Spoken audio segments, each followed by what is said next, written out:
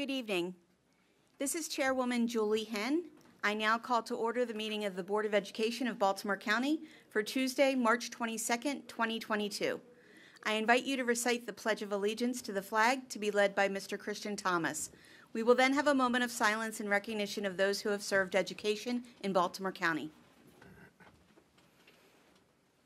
I pledge allegiance to the flag of the United States of America and to the republic for which it stands, one nation, under God, indivisible, with liberty and justice for all.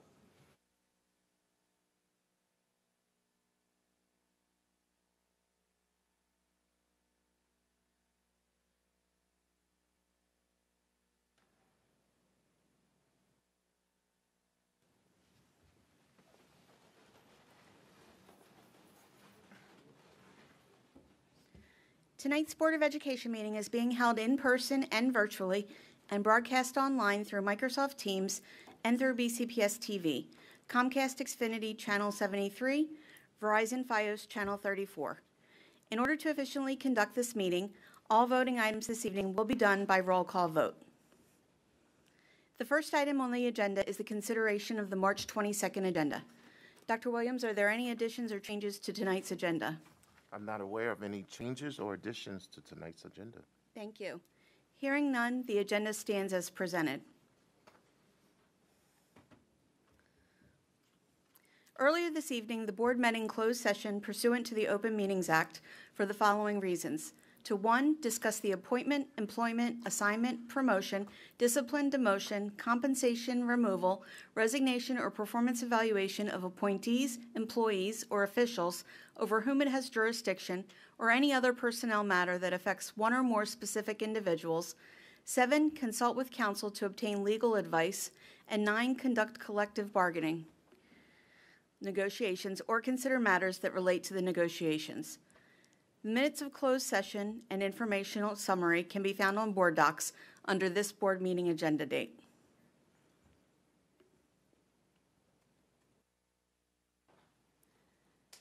Next on the agenda is a special order of business. First up, we recognize Mr. Brian Stewart. At this time, could Mr. Stewart please join me and Dr. Williams at the front of the dais?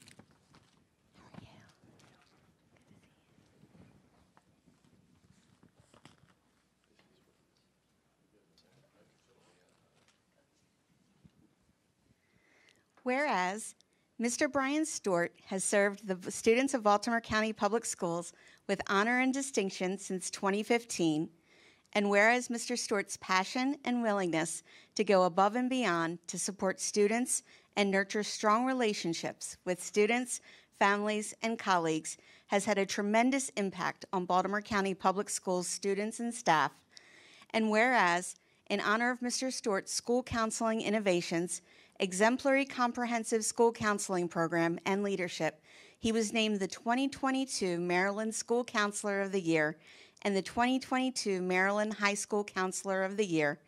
And whereas Mr. Stewart's efforts to understand the individual needs of students to encourage and cultivate their self esteem, foster collaborative relationships, and use data to evaluate program effectiveness and programming needs has consistently resulted in academic and social advancements. And whereas, in recognition of Mr. Stewart's work ethic, collaborative nature, innovative approach to supporting students in reaching their fullest potential, and dedication to building leadership capacity, therefore, be it resolved that the Board of Education, herewith assembled in regular session on the 22nd day of March in the year 2022 expresses to Mr. Brian Stewart, on behalf of the citizens of this county, our deepest appreciation and gratitude for his service. And be it further resolved that the board herewith ex- extends its best wishes for his good health, happiness, and continued success.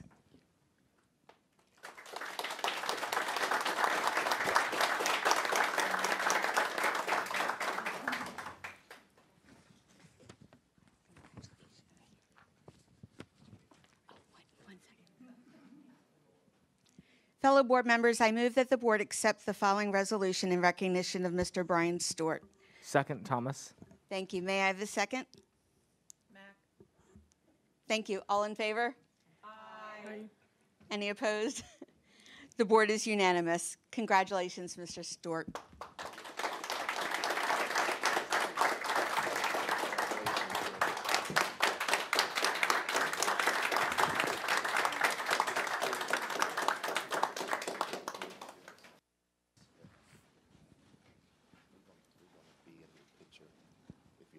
That works.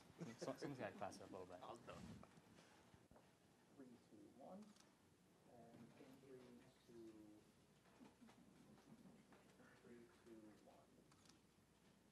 Made me look short last time. Congratulations. Thank you. Thank you. Next, we recognize Mrs. Lori Council.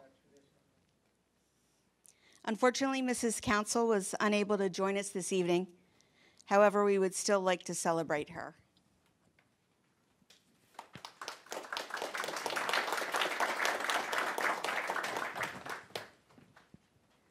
Fellow board members, I move that the board accept the following resolution, 2022-07, in recognition of Mrs. Lori Council as follows.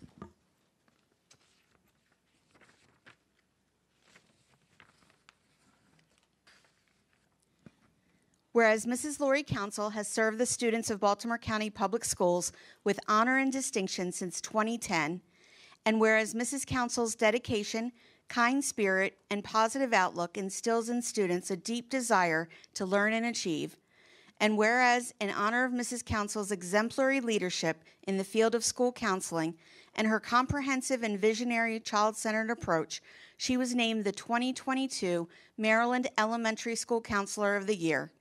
And whereas Mrs. Council's collaboration with students and staff to create a safe and welcoming environment and develop strategies for social emotional success makes Mays Chapel Elementary School a special place to learn.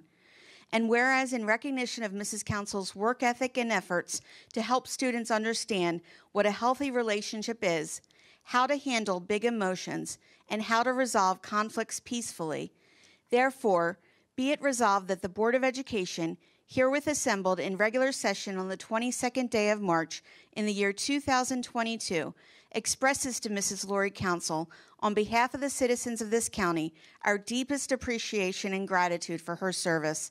And be it further resolved that the board herewith extends its best wishes for her good health, happiness, and continued success. Members, may I have a motion to accept the resolution? Thank you. May I have a second? Second, Ms. Causey. Thank you. All in favor? Aye. Any opposed? The board is unanimous. Congratulations, Mrs. Council. And her resolution will be sent to her. Finally, we recognize Ms. Kimberly Ferguson.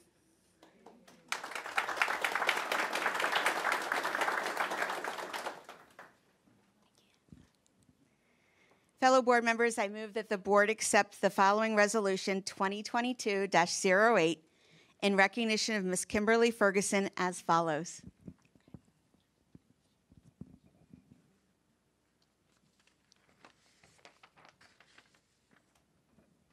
Whereas Ms. Kimberly Ferguson has served the students of Baltimore County Public Schools with honor and distinction since 2013, and whereas Ms. Ferguson's exemplary leadership has made positive contributions to the improvement of school counseling services, and whereas in honor of Ms. Ferguson's steadfast advocacy and innovative approach to ensuring BCPS provides comprehensive and impactful student services, she was named the 2022 Maryland Advocate of the Year.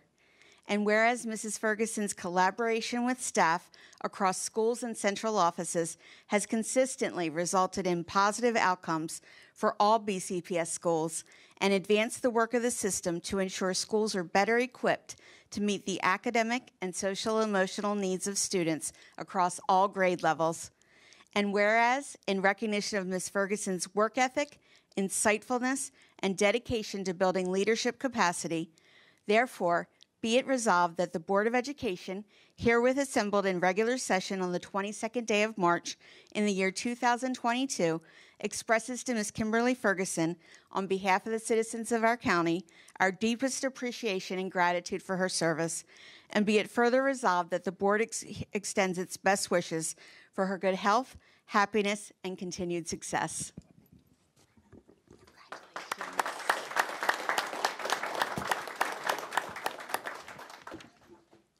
Board members, may I have a second? Second, motion? Thomas.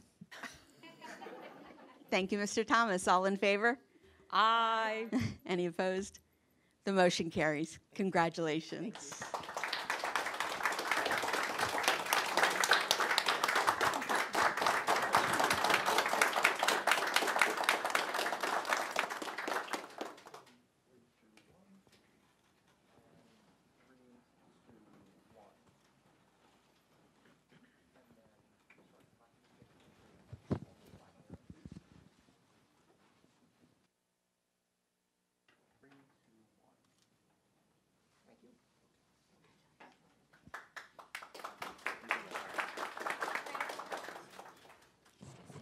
It's not.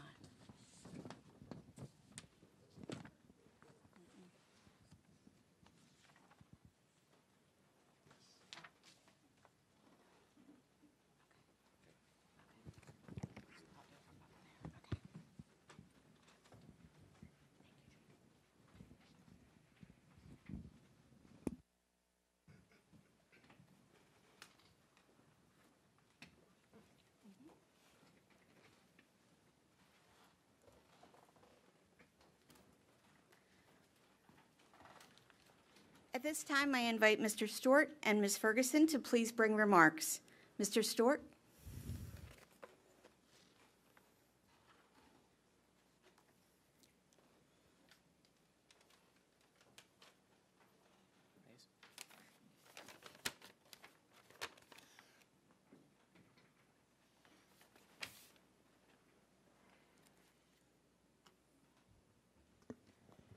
Promise I'll keep this short. Thank you. So it's an incredible honor just to be considered for this award as well as this um, incredible honor from you. So thank you very much. I appreciate it. Um, Especially when I consider the amazing counselors throughout BCPS and Maryland who go above and beyond every day. A lot of the success that I have had um, while in BCPS um, and in my career overall uh, has been due to the steady exchange of ideas and resources with colleagues in the field. Um, so they deserve equal credit um, for this accomplishment. Um, like those across BC, BCPS, our school counseling program strives to ensure every student has access to the supports, opportunities, and challenges that are necessary for their development as confident and unique individuals, uh, competitive college and career ready graduates, and responsible global citizens. School counselors have a unique skill set that can be utilized in a variety of ways to meet the diverse needs of all students equitably. Um, whether it's helping to implement a plan for getting back on track with classes, assisting with their college and career exploration process, providing support through periods of immense hardship, or simply being a resource, a steady resource throughout all of life's twists and turns, counselors are crucial for ensuring the success of all of our kids. Um, so, regardless of the issue, our job is to help them process it, make meaning, find ways to move forward. Um, and this goal isn't simply to get them through one situation or one tough day, um, but to help students develop into resilient, confident, and more empathic adults. We do this by implementing a dynamic counseling, uh, dynamic counseling interventions that incorporate a healthy balance of support, challenge, um, helping to connect students with the people in their buildings, as well as other resources that can help them move forward, um, and with a heavy dose of advocacy. Uh, so, beyond demonstrating empathy uh, implementing these array of counseling interventions, advocacy is crucial for the work that we do each day. Counselors advocate for students as we empower them to persevere through incremental challenges, um, to find the power in their own voice, in situations where systemic factors may be contributing to student hardship or inequity, counselors must advocate on behalf of those students. Um, and occasionally this means that we must speak up for ourselves as well. Um, so according to ASCA, which is at the center of COMAR and BCPS policy uh, regarding my profession, um, school counselors design and develop, develop, deliver comprehensive school counseling programs that promote student achievement. These programs are comprehensive in scope, preventative in design, and developmental in nature. These programs are driven by student data and based on the standards in academic, career, and personal social development to promote and enhance the learning process for all students. Um, so, um, ASCA's professional guidelines, competencies, and objectives have already been adopted by our own um, Board of Education. I believe it was in 2013. Um, and this is what, what drives our district curriculum for school counselors. Of course, um, along with the curriculum, we're providing constant um, responsive services for mental health, um, helping students along with, with academic concerns, um, other you know, college and career related issues that come up, case managing 504s, and, and constant, uh, an endless array of other issues.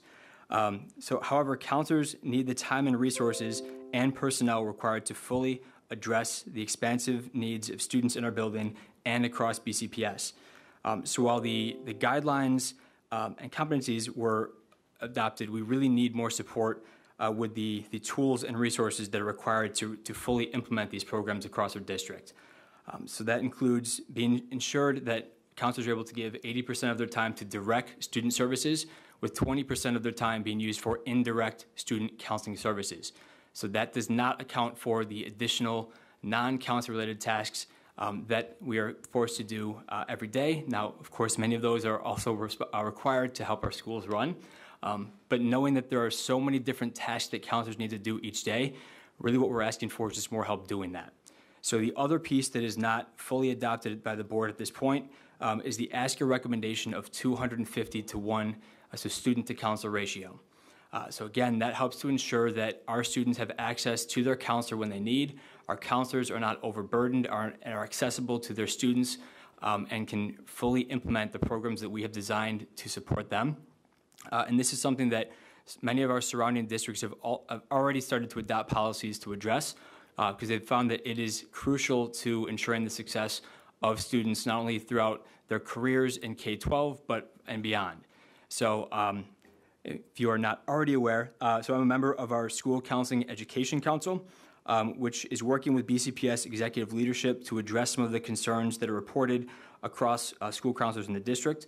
Um, so we still have a lot of work to do. Um, Kim Ferguson has been crucial in that. We've also been working with Dr. Zarchin.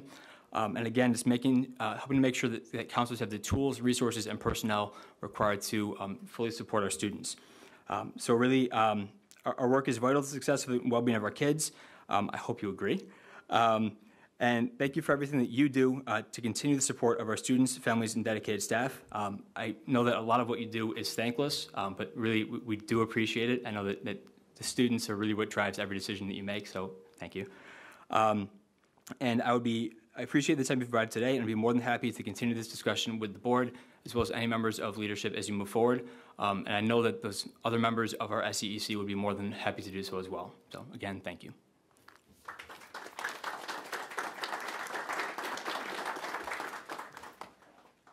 Thank you. And now I call on Ms. Ferguson.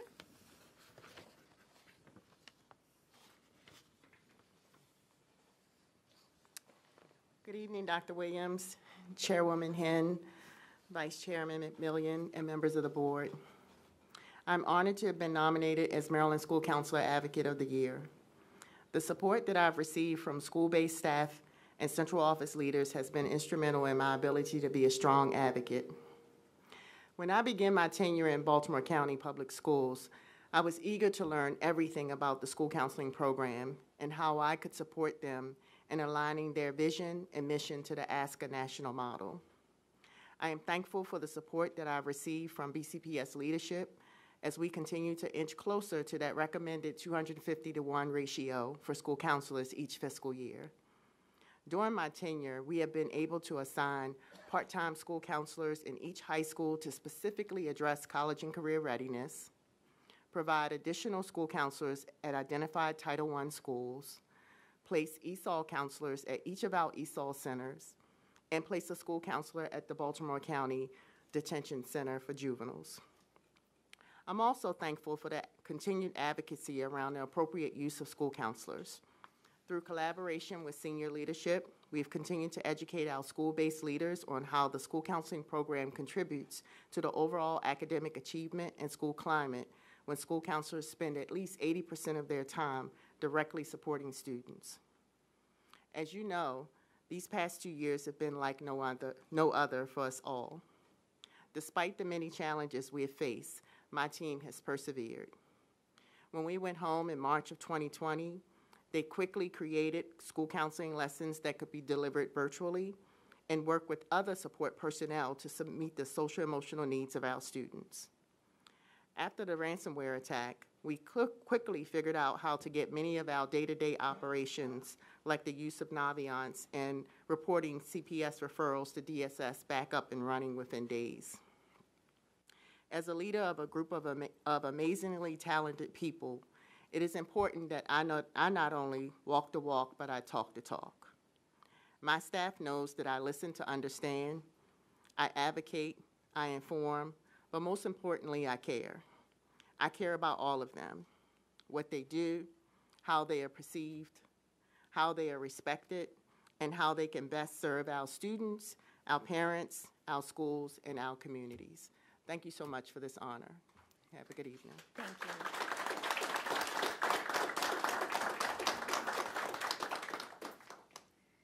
Thank you. The next item on the agenda is personnel matters, and for that I call on Ms. Anderson.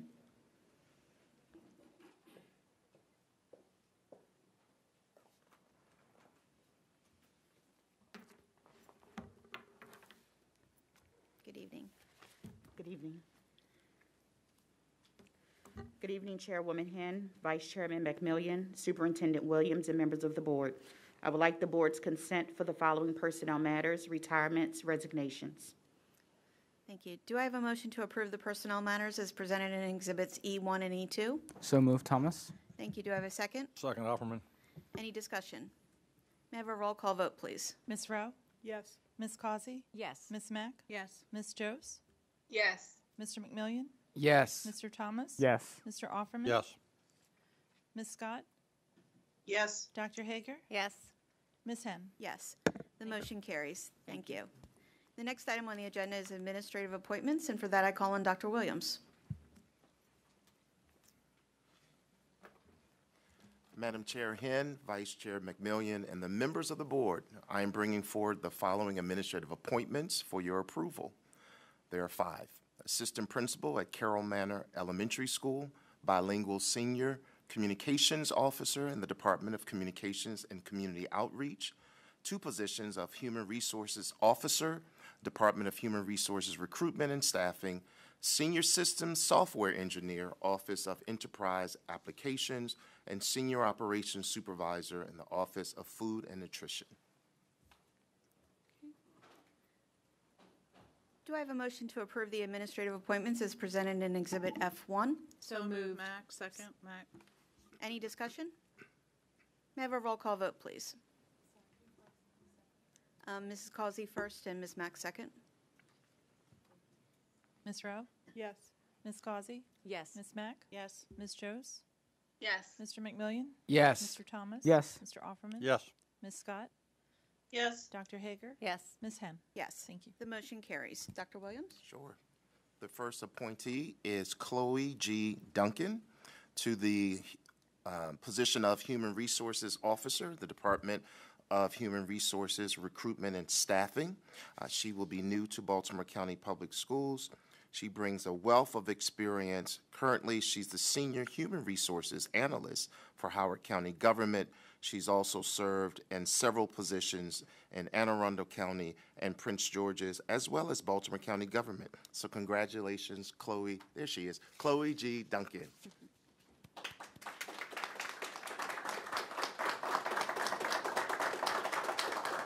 Sorry, I was looking at the screen. I, it was funny to watch all of you turn around and, and look for Chloe. Chloe is not here this, this evening. the next appointee is Tracy L. Hanley as the assistant principal at Carroll Manor Elementary School. She brings to us 15.6 years of experience in Baltimore County. Currently, she's the teacher of English at Hereford High. She also served as an English teacher at Loch Raven High. Congratulations, Tracy L. Hanley.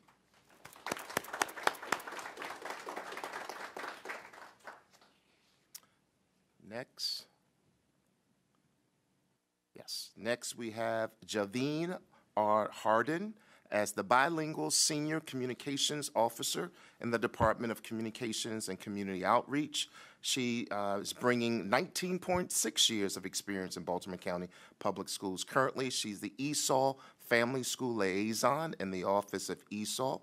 Prior to that position, she served as a teacher of Spanish at Franklin Middle School, and prior experience, she served as a long-term sub in Baltimore County Public Schools for over three years. Congratulations, Javine R. Harden.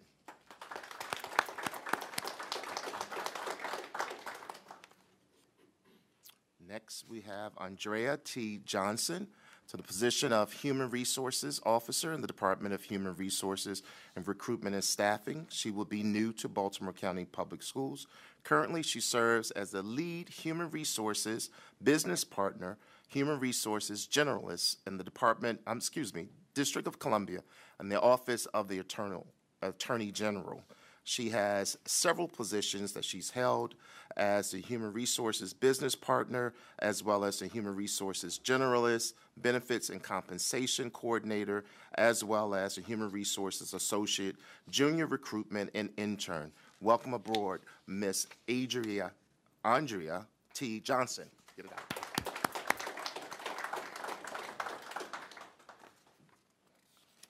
Next, we have Damian C. Maddox, appointed to the position of Senior System Software Engineer in the Office of Enterprise Applications. She brings five years of experience in Baltimore County Public Schools. Currently, she is the Business System Software Engineer in the Office of Enterprise Application.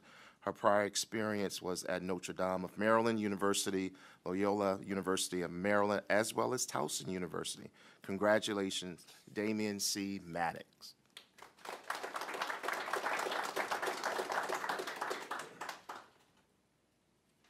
Next, we have Samuel L. Mason, promoted to the Senior Operations Supervisor in the Office of Food and Nutrition Services. Uh, he brings to us seven years of experience in Baltimore County Public Schools. Currently, he's the field representative in the Office of, of Food and Nutrition Services. His prior experience um, were at Chartwells and the University of Maryland, Don Pablo's for three years, Copeland's of New Orleans, Cosi for five years, and the Tomato Palace for six years. Congratulations, Samuel L. Mason. That concludes the appointments. Thank you, Dr. Williams. The next item on the agenda is the report on board policies. This is the first reader for these policies, and for that I call on Ms. Lily Rowe, Chair of the Policy Review Committee. Thank you. Members of the Board, the Policy Review Committee ask that the Board accept this report of the committee's recommendation to amend the following board policies. Board Policy 6400, Special Programs Magnet Programs, and Board Policy 6402, Special Programs, Special Education Services.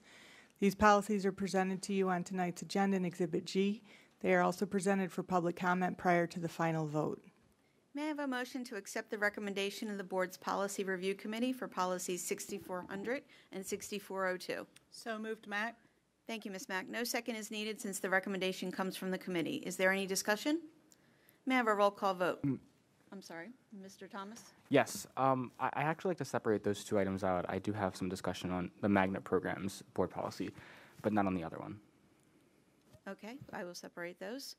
Um, And whose motion was that originally? From Ms. Mack? You made the, the motion? Um, So may I have a motion to accept the recommendation for 6,400? To separate those? Okay, no seconds needed. Any discussion on 6,400? Mr. Thomas? Yes, I'm going to put something in the chat. Um, I move to insert B, guidelines shall not include priority selection slash enrollment for the children of Baltimore County Public School employees, nor grant priority placement to students with the highest performance of such guidelines, to line 34 of this policy. Is there a second? Second. Any discussion? Mr. Thomas? Thank you. Um, um, I have something written out. So, our magnet programs are not supposed to be incubators for high achieving students to flee their home schools to pers- in pursuit of a school with a better reputation. They should be, as our policy says, the opportunity for a theme related curricula with instructional materials for a specific and individual program. They should be an opportunity for our students, any of our students, to pursue a unique pathway to help them become college and career ready. But they aren't. Right now, our highest achieving students are the ones who are getting priority placement to these magnet programs. For example, you know, and what this does is, it creates a system in which the students at Dundalk, who should have the same opportunities as those at Eastern Tech, don't. The students at Milford Mill, who should have the same opportunities and resources as those at Carver, don't. The students at Woodlawn, who should have the same opportunities and resources at, as students in Western Tech, don't. And this is a problem. I've been to schools and I've talked with our students, and they see this problem with our policy. They see the problem with the selection process for our magnet program. And it's not okay for us to continue to prioritize the students that are already high achieving for magnet programs. Because, again, that isn't the purpose of our magnet programs. And the way that the superintendent's rule right now is written allows for that. And I think we need to take a stance in our policy to prevent that. And although this was discussed, this was discussed in PRC, I would really like us to continue this discussion and to continue the opportunity to make our board policy more equitable and to really provide equal opportunity for our students when it comes to accessing magnet programs.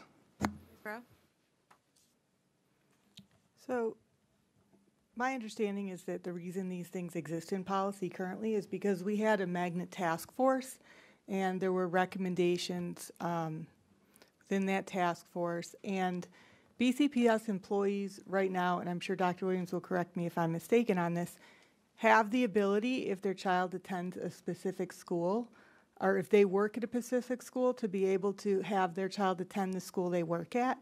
And this in the magnet policy simply replicates that in the magnet policy, that is the policy at every other school, is that if there is a teacher or staff member who works in the school and they have children, their child can go to the school they work at, which in part, you know, helps with problems like I can't get to work on time because I have to drive my kid to another school, right? If you're a school staff member, that would be a problem.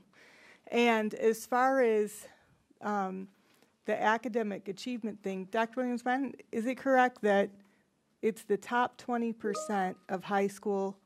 Um, if you score in the top 20% of that placement test, then you automatically can be placed, and then the rest of the students and applications go into the lottery process.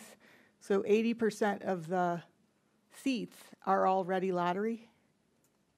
Can you explain that further? I'm gonna ask, I just want to make sure we understand the implication of what we're deciding here. because it feels like it's going into the rule, but I want to go back and pull our staff for the specifics on that. Yes, come to the table. So the, the high school priority that we're referring to, um, we're able to fill up to twenty percent of the seats in a program by the students who score the highest scores on the assessments that are conducted by the school. It doesn't involve the academic evaluation from the report cards. It's only based on the assessment that's evaluating whether the student's appropriate and, and has a good chance of being successful in that particular program. So, for example, if we have a program that has 20 seats, we can fill up to four of those seats prior to the lottery by the students who would score the highest score on that magnet assessment. And is, is Dr. Williams correct? Are these things that are accounted for in the rules? Yes, this is in the rule. Okay, so this is not something that's subject to current policy? I'm- I assume that that's true. Okay. Correct. Thank you. Mrs. Causey? Thank you, Madam Chair. Um, I appreciate the conversation. Um, I did want to get additional information from staff as to um, the numbers related to uh, teacher um, preferences, um, because I I guess I want to see if there's, how large of an issue that is.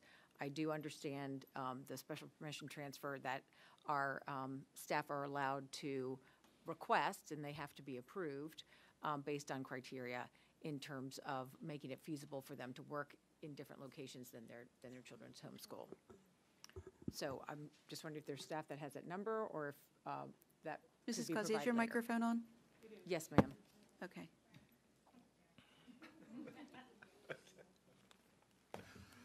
Thank you for that question. Um, We, we have very few instances where we have students who are placed in a magnet school because the parent works in that magnet school. Um, But that is part of the rule, that they are able to do that. Um, Typically at a school, if we have one or two parents who work in that school would have their children attend. Um, At the elementary and middle school, it's an automatic. At the high school, that student also has to perform at least 80% in the evaluation process in order to qualify for that priority placement. And Brian, would you just introduce yourself I'm and your sorry, position? yes. No, no, no worries. I'm Brian Stoll. I'm the coordinator for BCPS magnet programs. Okay, thank you for that information. I appreciate it. Thank you. Dr. Hager? Um, I just wanted to clarify, and, and if you have any comments on this, um, so the, the, um, motion says highest performance on such guidelines and the concern about being college and career ready, but many of our programs are, include fine arts and other trades and other skills that the students are gaining in these programs, and the assessments are relevant to those programs. So it's, we're not talking about scoring the top on an academic assess, or a, you know, straight math and reading assessment. It could be a, a practical assessment that the students are getting scored on through dance or through culinary skills and things like that, correct? So there are other ways through the assessment. Right. For, for our arts programs, that's absolutely true. Um, The assessments are uh, completely based on performances. Um, For the vocational programs and the other academic programs, there are academic components to the assessments. So that is part of the evaluation process. Thank you. And, and um, given that, that I, I do not support this motion, so I, I think the rule as it stands is, is okay. Thank you. Ms. Droz? Thank you. Um, Mr. Thomas, you attend Eastern Tech, which is a magnet school. And from what I just heard, uh, it looks like 20% of the students are based on assessment and the 80% for high schools, and we don't follow the same rule for middle and, and elementary schools, are based on a lottery program. So uh, c- I'm kind of confused as to how the 80, if the 20% are only allocated based on assessment, uh, what happens to the other kids that also assessed and did well? Because we've seen a lot of emails and complaints from parents whose kids took the assessment and didn't make it. Um, so how do we address that? And how does our equity policy 100 that undergirds everything we do play into this policy? And I know, Dr. Williams, you keep saying we need to look at it from a policy level, but we all know that despite ongoing efforts, uh, racial disparities are particularly pronounced in a magnet school program. So, what are we uh, doing? So, I, I do support Mr. Uh, Thomas's motion. I think we do need to take a closer look at this from our um, equity point of view. Dr. Williams, would you like to respond?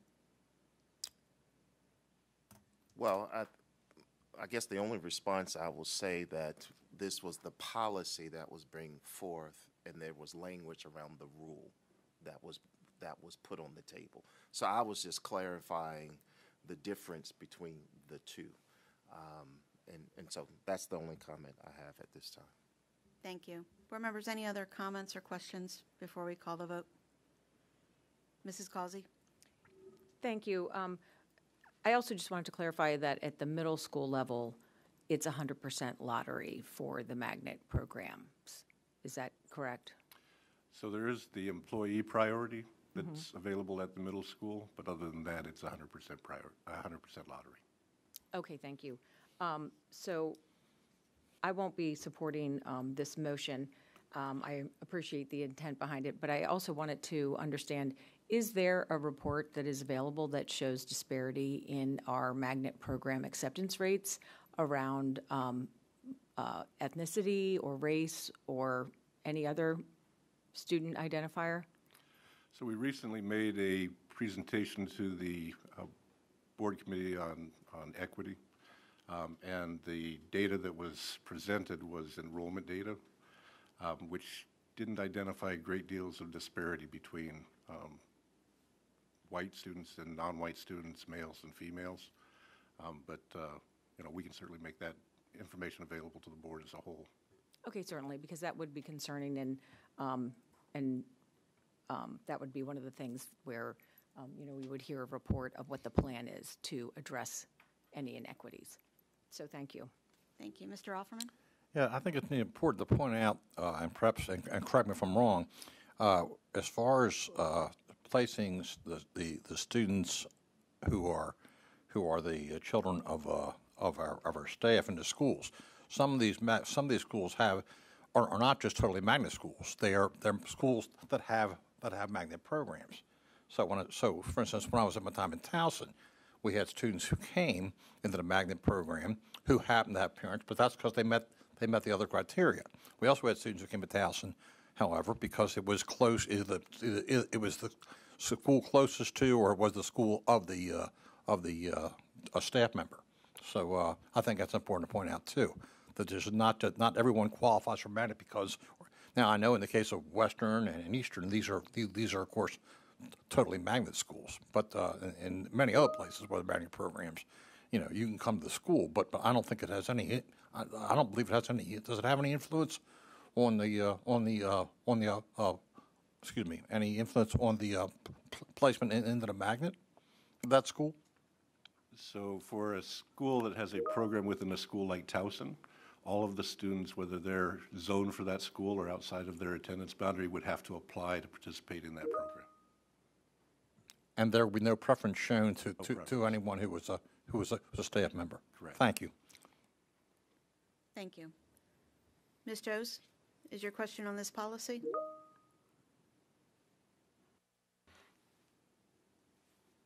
Yes, it is. Okay, go ahead. Um, Sorry, uh, the chat seems to be muted and I couldn't see, Mr. Thomas, your, um, it's muted and I can't see your thing very clearly, but um, I don't believe there's a lot of, uh, I don't know the percent of children that are staff that are enrolled in there. I, I, I reckon it's not going to be a large percent um, of children that are coming in from staff, which I think I totally support if, stu- if if uh, there are teachers that are teaching there and their kids want to attend. My my concern really was more from an equity point of view of the uh, 80% that are coming in through the lottery program. So I'm quite not sure where I stand with your motion right now. So I, I know I did second it and I recognize that. Thank you. Thank you. Mr. Thomas? Thank you. And I just want to state again that I think the 20% rule that we have right now, allowing the highest achieving students, is at direct odds with the idea that our magnet programs are supposed to be available to all of our students, that our magnet programs are supposed to be programs dedicated to theme and curricula, you know, not really dedicated to uh, programs for our highest achieving students to get into. So I want to say that. And I understand that the language might not be the best for the policy. So I'm going to make a motion after this. I'm assuming this will fail. So move it back to PRC just because I think we should continue this conversation. And I, I would like to, but thank you. Thank you. Ms. Mack? Um, I would just like to point out, I quickly looked at the breakdown of students. Um, Somebody mentioned Western Tech. There are 920 students at Western Tech. 514 of them are African American. 190 of them are Asian. 48 are Hispanic, and that's as far as I've gotten. So um, however the process is working, it looks like we have a very diverse group of students. And prior to the pandemic, I attended uh, the Cultural Coalescence Program at Western every year. And it was just students from all over the world celebrating their heritage. And it did not jump out. It, the numbers support what I saw. That West, I'll use Western because it's the school I'm most familiar with, is a very, very diverse place. So I, I think the numbers speak for themselves. Thank you. Ms. Scott? Yes, thank you. And um, thank you, Mr. Thomas, for bringing this forward um, and trying to work to make our magnet program more equitable because I, I, believe that's what, what you're um, trying to do. So um, I'm not sure that that um, I agree 100% with what was just put up. Um, so if it were to go back to the committee to be fleshed out a little more, I think would, would be a good thing. Um, I had a question about the chart that was put up, or rather the pie graph that was just put up and that was presented to us at the equity um, committee meeting. And it looked like it was presented in December 16th. And I wanted to know the last chart where it says BCPS and magnet program school year 20 to 21. Um, I, particularly the gray amount where it says AA, um, 40%, 40.10%. Um, I guess is that the enrollment of students who are um, AA, uh, is that African American? And then magnet programs, it shows 53% in African American. And so, in my understanding, that 40% of our student population is African American, and 53% of those students are enrolled in magnet programs. Now, my question would be: Are those magnet schools as well as magnet programs, like what um, uh, Mr. Offerman just talked about, magnet magnet programs being like a Towson and um, and schools, or is it just magnet schools? So without looking at the graph, I'll, I'll try to do that. Um, the data on the magnet was specifically magnet students. It didn't, if it, so for example, the program at Towson, that magnet demographic represented just those students that were participating in their magnet program. Whereas the data for the district as a whole was every student in the district, uh, which would have included the magnet students as well, I believe. Okay, so that includes magnet students in magnet programs and students at magnet schools.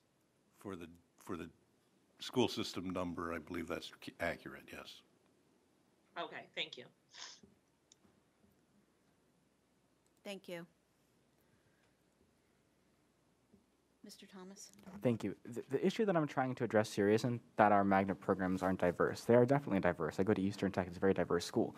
It's the fact that the students at Eastern Tech are in this environment that is so enriched with so many of these academic resources and the supports that isn't half a mile down the road accessible at, at, at Kenwood High School. That's kind of the thing that I, I really think we need to address in this policy. Time, Mr. Thomas. Thank you. Okay. Any other questions or comments, board members? Ms. Jose? And then Mrs. Thank you. Mr. Thomas, I see what you're trying to do, but I don't think this um, motion that you're making addresses that.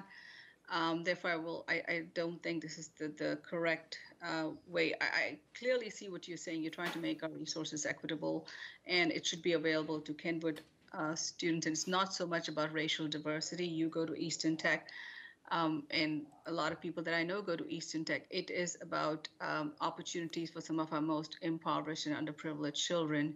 Um, that's what you're trying to address, and I don't believe this motion addresses it. However, I, I get your your reasoning behind it. I do support that reasoning. So thank you for uh, bringing this to discussion. Thank you. Mrs. Causey? Thank you, Madam Chair. Um, Mr. Thomas, I appreciate this conversation, as I said before, and the goal of the Board of Education is to ensure uh, that every child is rigorously prepared for college or career. And uh, they, we, I was encouraged, we had a curriculum committee meeting, and they are evaluating the lessons learned and the new strategies that were uh, utilized during the pandemic in terms of remote learning, uh, addressing uh, staff that had particular expertise, but more students having access to them virtually, uh, lessons that they're learning through our virtual learning program. So I'm optimistic that things will improve to have more opportunity for students no matter where they go to school. Thank you. And thank you, Ms. Gover and IT, for displaying um, the information requested by Dr. Hager. Is that the correct slide, Dr. Hager, that you had asked? Okay, thank you. Are there any questions or comments regarding the, the information displayed? Um, I'm Um, sorry, I Ms. Rowe? just had, I had put in the chat. I'm sorry, Ms. Rowe, Um, go ahead. I just wanted to point out that it's important to realize that these magnet programs are different. And I would dispute the fact that Kenwood High School has fewer resources and fewer opportunities than Eastern High School, Eastern Technical Institute. These are different programs. My daughter got into Towson, Eastern, and Kenwood's IB program and made a conscious choice to go to Kenwood's IB program because of the academic rigor at that program. And I would absolutely dispute that the academic rigor of that program That- is any less than time. Eastern's. Thank you, Ms. Rowe. Okay, there's no further discussion. Um, Ms. Governor, may we have a roll call vote on Mr. Thomas's motion to amend policy 6400? Ms. Rowe? No. Ms. Causey? No. Ms. Mack? No. Ms. Jose? Abstain. Mr. McMillion? No. Mr. Thomas? Yes. Mr. Offerman? No. Ms. Scott? Abstain. Dr. Hager? No. Ms. Henn? No. The motion fails. May I have a motion to accept the recommendation? Ms. Henn. A motion on the floor to that effect, I believe. So the original motion that was on the floor was to accept the recommendation of the board's policy review committee. Mr. Thomas, I'm going to process the motion that's already on the floor Um, to accept the recommendation. I would just like to send this back. There's to- already a motion on the floor that I'm going to process to accept the recommendation of the board's policy review committee for policy, for policy 6400. Ms. Henn, I have a, a point of clarification. Yes, Ms. Jose? Thank you. Um, This is to Mr. Brusades. There's a motion on the floor, I get that, but doesn't the motion to postpone supersede uh, the motion on the floor, Mr. Brusades? And that's what Mr. Thomas is trying to do.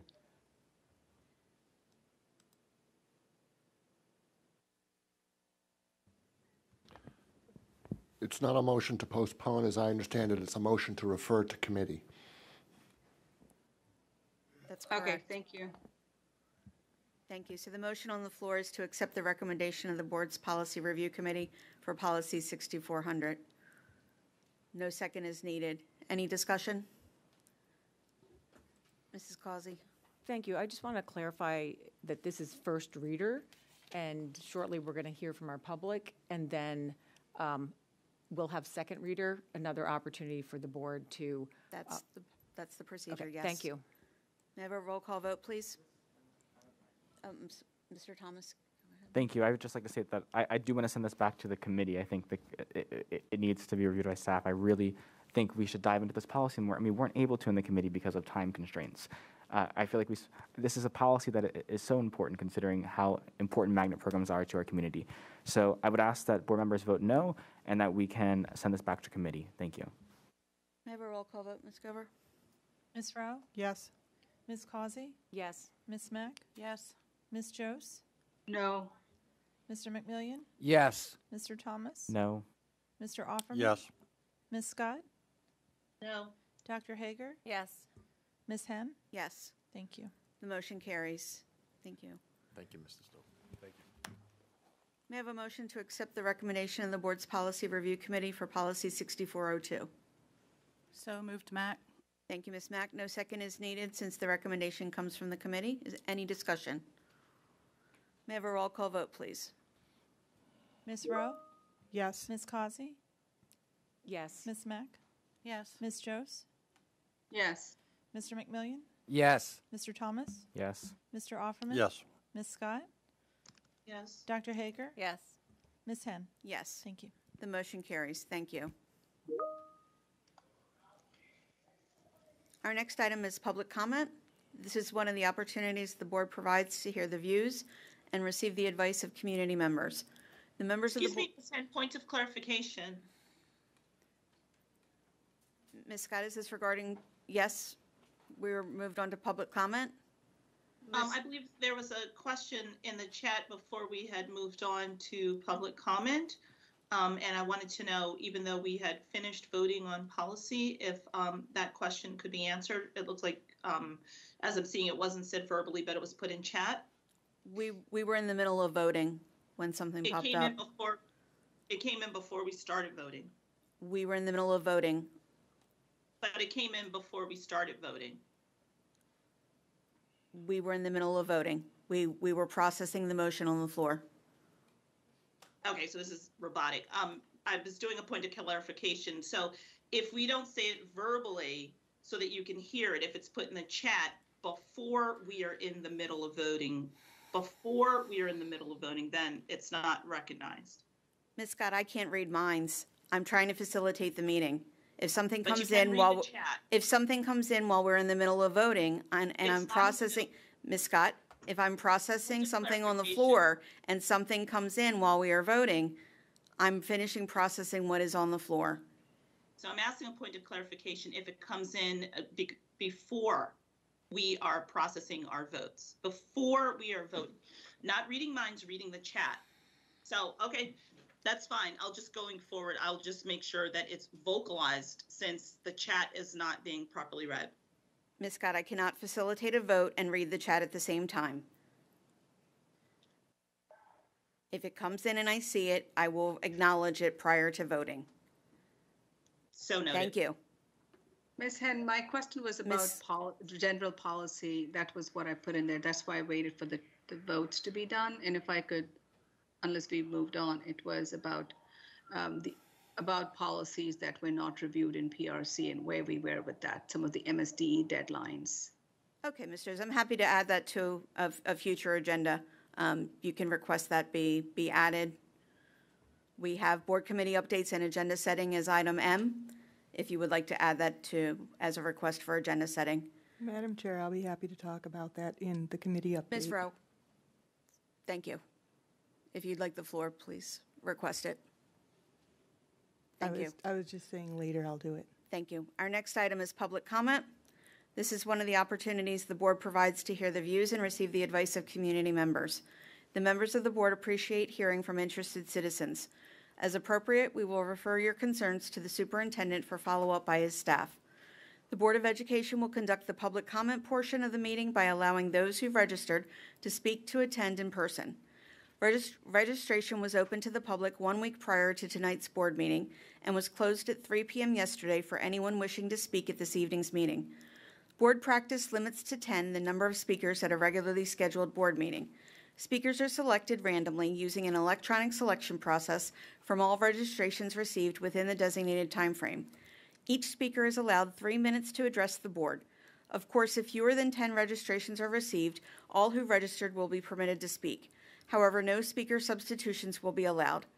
While we encourage public input on policy, programs, and practices within the purview of this board and this school system, this is not the proper forum to address specific student or employee matters or to comment on matters that do not relate to public education in Baltimore County. We encourage everyone to utilize existing dispute resolution processes as appropriate. I remind everyone that inappropriate personal remarks or other behavior that disrupts or interferes with the conduct of this meeting are out of order. I ask speakers to observe the three minute clock, which will let you know when your time is up.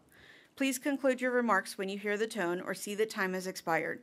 The microphone will be turned off at the end of your time, and it could be turned off if a speaker addresses specific student or employee matters or is commenting on matters not related to public education in Baltimore County. If not selected, the public may submit their comments to the board members via email at boe at bcps.org. More information is provided on the board's website at bcps.org under Board of Education Participation by the Public. I now call on our advisory and stakeholder group leaders to speak.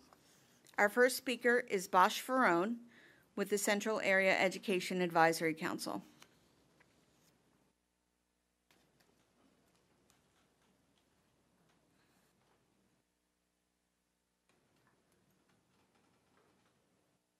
Dr. Ferrone?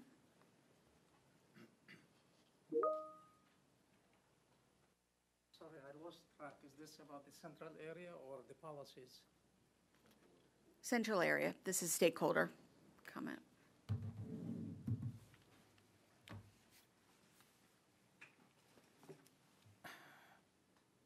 Good evening to all.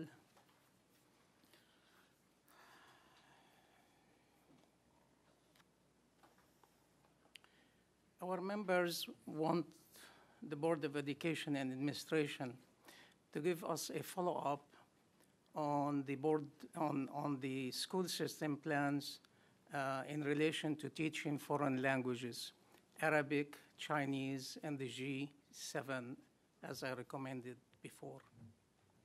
This is only a gentle, friendly reminder. We just really need to know. We understand you have fiscal responsibilities and difficulties, but if we can have a follow-up, I think that would be helpful. Our next event is going to be April 6, Wednesday, April 6. It would be on Zoom, 7 p.m. And uh, this presentation is going to be related to discipline versus punishment in the school system.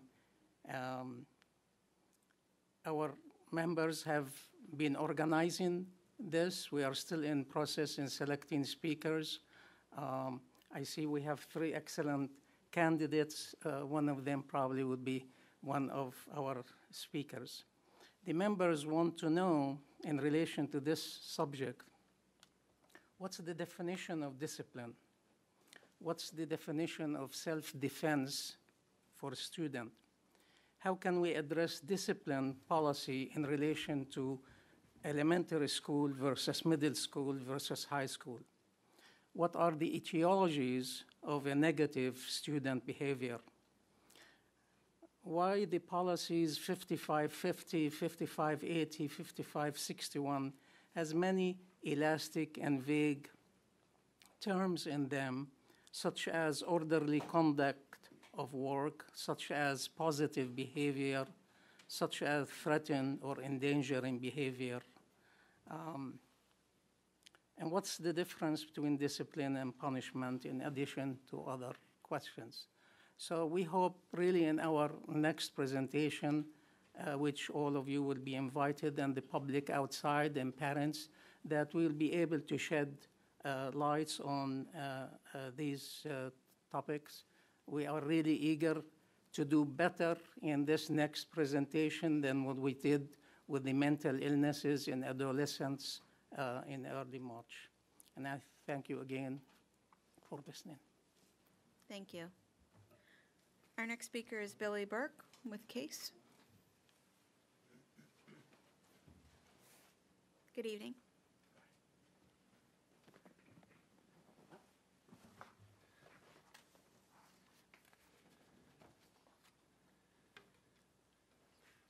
Good evening, Chairwoman, Mrs. Henn, Vice Chair, Mr. McMillion, Superintendent Dr. Williams, and members of the board.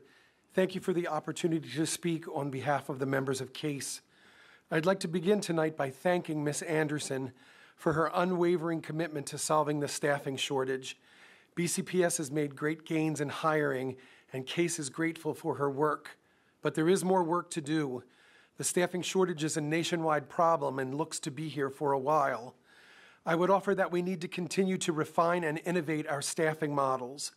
This includes ideas like blurring school enrollment boundaries so students can take class in more than one location. It means expanding virtual options for specific classes. It means setting scheduling criteria for class size. It means prioritizing schools that are historically difficult to staff.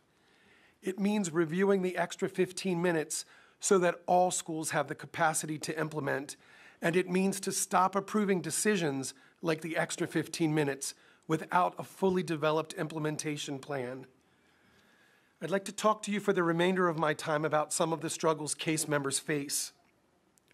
The world has changed. Many people feel entitled and empowered to criticize and humiliate. I know you see that in your emails every day. CASE members deal with this from every angle. The role of principals, assistant principals, and central office supervisors is one of change agent.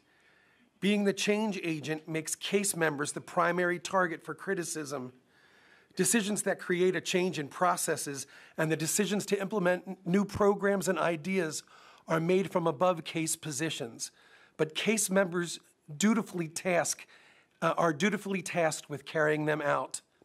Sometimes that change is something like establishing and following safety procedures, like masking or establishing six foot, six foot distancing in the time of COVID. But often the role of CASE members is to support and monitor instruction to improve outcomes for children. CASE members must ensure that students receive equitable access to rigorous curriculum and assessment. That often means asking staff to change the way they teach and the resources they use to teach. No CASE member wakes up each morning thinking, I'm going to go into school and mess with everything just to make staff and family upset.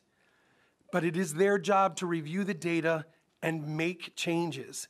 It is their job to ensure protocols are correctly followed, even if they've never been followed before, just like it's your job to review the data and make changes.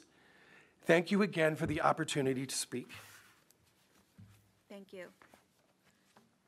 Our next speaker is Cindy Sexton with TABCO.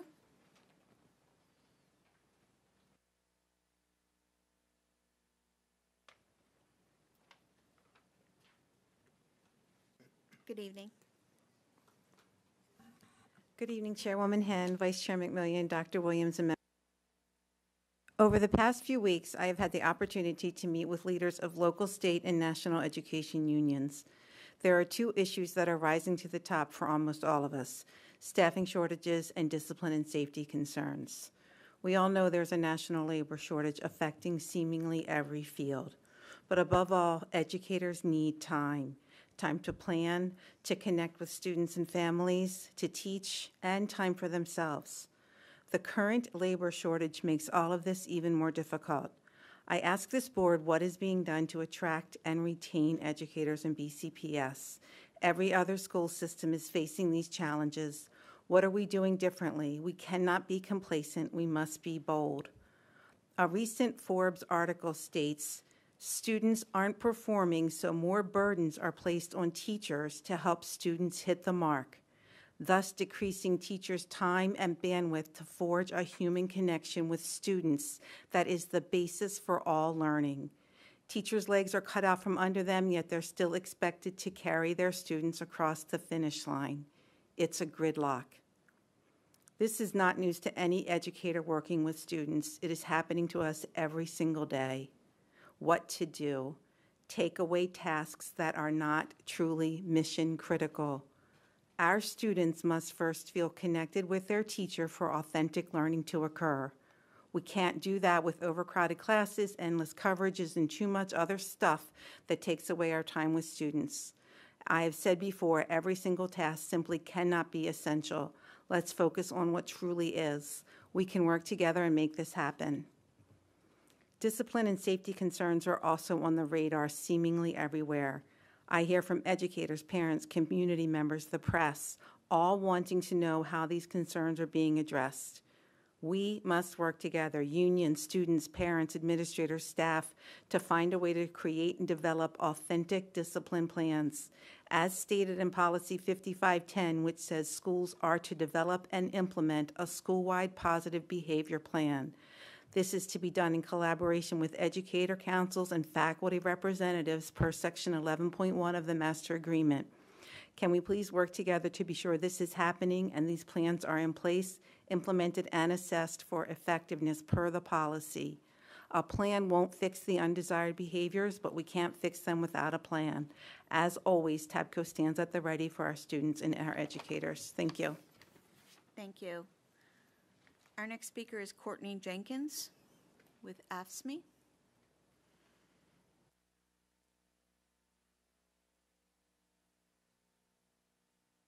Good evening. Good evening. Good evening, Madam Chair, Mr. Vice Chair, Dr. Superintendent, Dr. Williams, and distinguished members of the board. My name is Courtney Jenkins, and I'm a proud member as well as staff representative with the American Federation of State, County, and Municipal Employees, Council 67, Local 434, or AFSCME.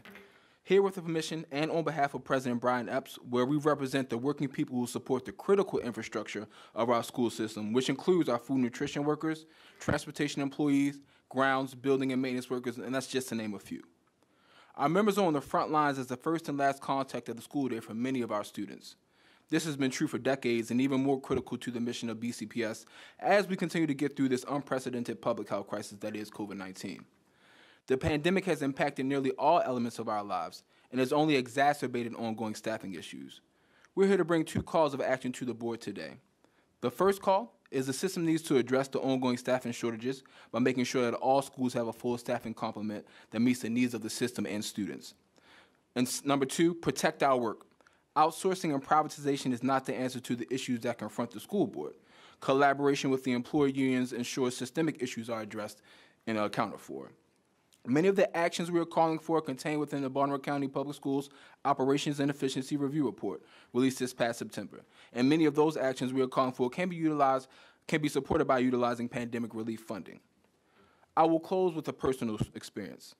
Uh, late last year, I had the pleasure of joining with my wife and her former classmates for an impromptu reunion of sorts.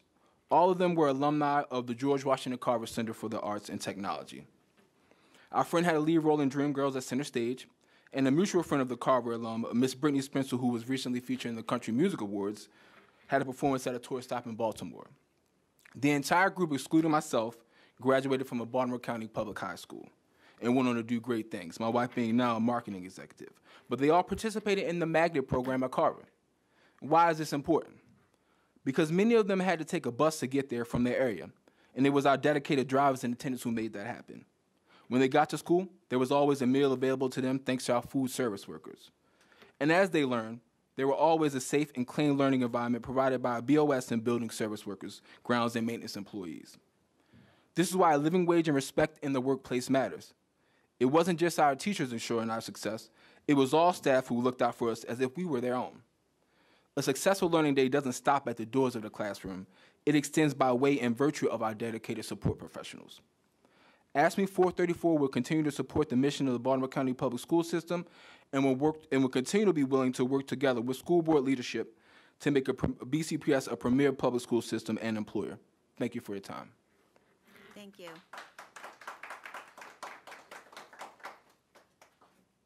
Next is general public comment, and our first speaker is Sharon Saroff.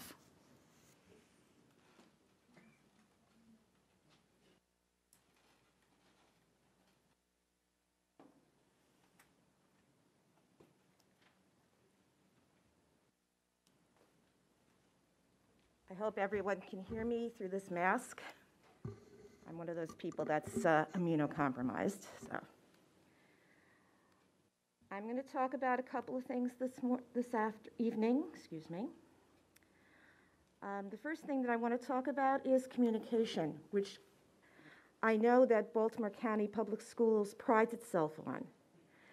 But from what I'm seeing recently, it is becoming increasingly difficult for parents and people like myself in the community to access vital information, such as who's the principal of a school, what the telephone number of the school is, if I have a problem, who the executive director is, because there are no more uh, community superintendents. Um, who do I contact if uh, special transportation is not available? Um, if there's a bus speeding down my street that's not supposed to because it's a cul de sac. It used to be that if I went on the Baltimore County website, I could find the uh, first page profile of a school that would tell me the name of the principal, the vice principal, the zone, and who I could contact if there was a problem. That's not available to me anymore. Now I have to go on a fishing trip to find that information, including getting a hold of the phone number to contact the school. Thankfully, I have an old directory at hand in my computer. How do we fix it? Go back to having a profile page where a person can easily find that contact information, the name of the principal, the name of the vice principal, who the executive director is, because that's nowhere on the website. Parents need to be treated as collaborators, not as the enemy. I am going to start my concerns about special ed now. I know that we're going to be talking about it in a little bit. Special education is the problem of the entire county, not the individual school. And in Baltimore County, we treat it as through the individual schools right now. If I'm an administrator and I feel that my special ed students don't deserve or I can't schedule them to be in a music class and I can only schedule to be in an art class, that's all they get access to. And I'll finish my comments on that. Thank you. Our next speaker is Janice Lepore.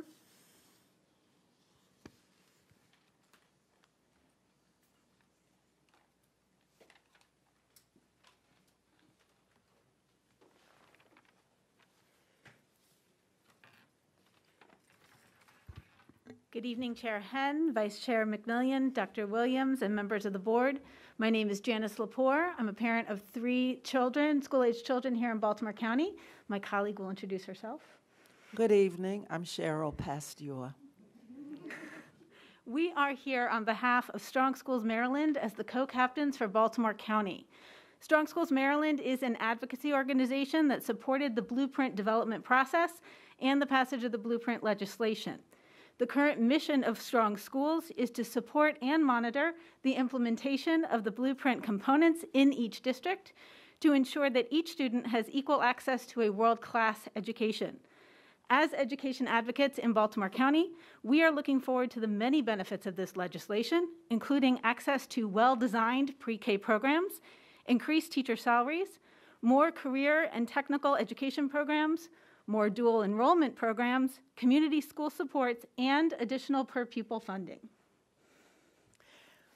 Let's talk data. Blueprint is critically important because Ms. Mack, 55% of Maryland students were not reading on grade level by grade four in 2020. 44% of educators leave the profession within their first five years, Mr. Offerman, it is projected that 65% of all jobs require educational training beyond high school. Mr. McMillion, 55% of Maryland schools serve a high concentration of students experiencing poverty. Mr. Thomas, Dr. Williams, you already show alignment with Blueprint at every board meeting. Please continue to do that. Board members, we are your resources for your questions. We are your people. We're here to answer all of your questions about Blueprint. No time limits, just answers. Thank you. Thank you.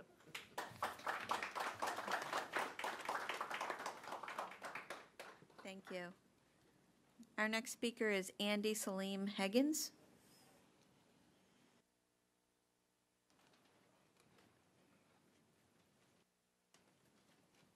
Good evening. Good evening. Uh, okay, my time is done. Oh, uh, good evening, uh, Madam Chair, uh, Mr. Vice Chair, uh, Superintendent uh, Williams, and board members. Um, the Baltimore County School Board Nominating Commission is still accepting applications for the board's four at-large seats uh, for the four-year term beginning December 2022. I'm not a member or representative of that, um, but I think it's important to share that information. Uh, applications are posted uh, on the Baltimore County Public Schools uh, website and will be accepted through Friday, March 25th um, at 4 p.m. So yes, that's this Friday, so you still have time. Um, and so if you're at least uh, 21 years old, a Baltimore County resident for at least two years and not employed by Baltimore County Public Schools, those are the main criteria. Um, I'm sharing this information uh, because I believe it's vitally important that the school board reflects the diversity of the communities they serve. And there's so many decisions, I'm preaching to the choir with you, obviously, when there's so many decisions being made um, that, that impact our children on a systems level.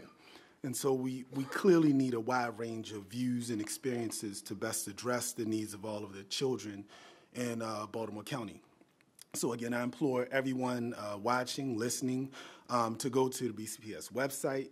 Uh, you have a few days and a couple hours.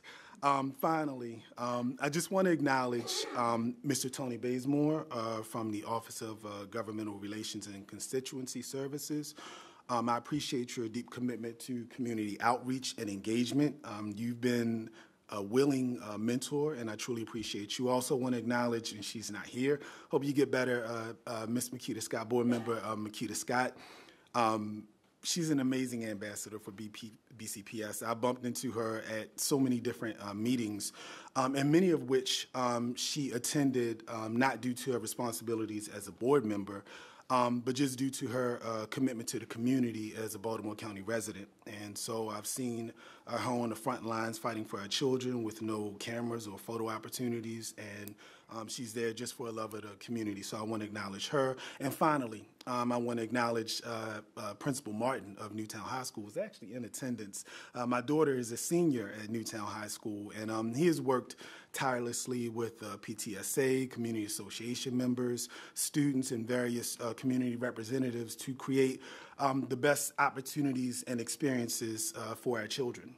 And, and to make sure that we aren't simply uh, stakeholders, uh, but that we're a genuine community. And all of the people that I acknowledged uh, tonight, um, they have that same um, uh, mentality. Um, so I think it's vitally important that we all work together. Again, thank you. My name is uh, Higgins. And again, appreciate you all. Thank you. Our next speaker is Amy Adams.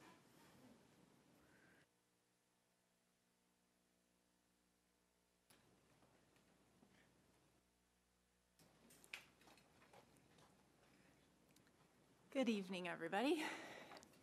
Um, I wanted to start off by mentioning school safety and discipline is one of uh, the community members' top concerns and BCPS families. I see it's not on the agenda tonight, but we are anxiously waiting for an announcement addressing issues that have come up in our schools.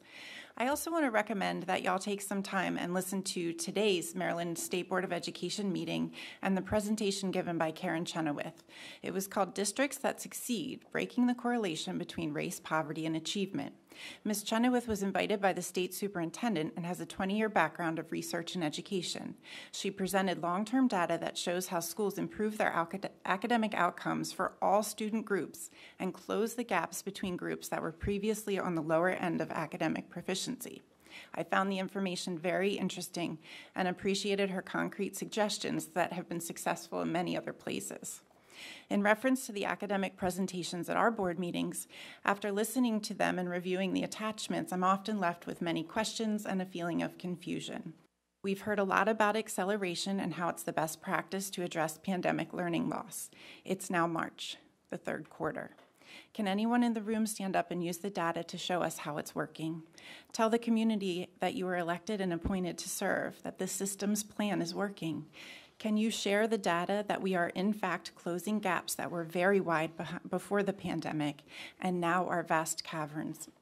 At the meeting two weeks ago, we heard that the data presented was unreliable for a number of reasons. It was one data point, it was a bad test, the test changed, assessing kids is very difficult. But I can look at years worth of data on Maryland's report card, and on our very own website, I can look at each school's dashboard that shows the proficiency rates from the year 2018 2019. It's all very concerning and it's not improving. A few meetings ago, the NAACP president spoke about the academic needs of students not being met. What assurances can you give the Baltimore County residents and parents that you're aware of our downward trend in our system and you're addressing it with urgency and purpose? If all of the individual data points are showing the same thing, when are we going to get to see any data points that give us confidence that we're on a path, that acceleration is working, that there is a true concern or a plan for the fact that our students have been in a proficient downfall for quite some time? How are you assuring us that second graders who have missed everything will get what they need? Tonight we will hear about the second quarter data. It wasn't available to the public before the meeting, so I'm very curious. If it focuses on quarter grades, I have some concerns. There is a culture of leniency within BCPS. For example, teachers can subjectively change grades. Assignment deadlines are not concrete. Homework no longer counts as a portion of an overall grade. With strong foundations and appropriate supports, kids can rise to this challenge. Thank you. Thank you. Our next speaker is Mohammed Jamil.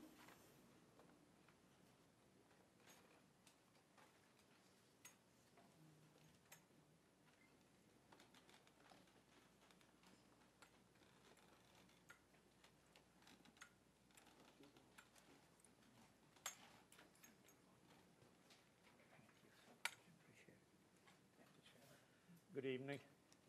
Good evening.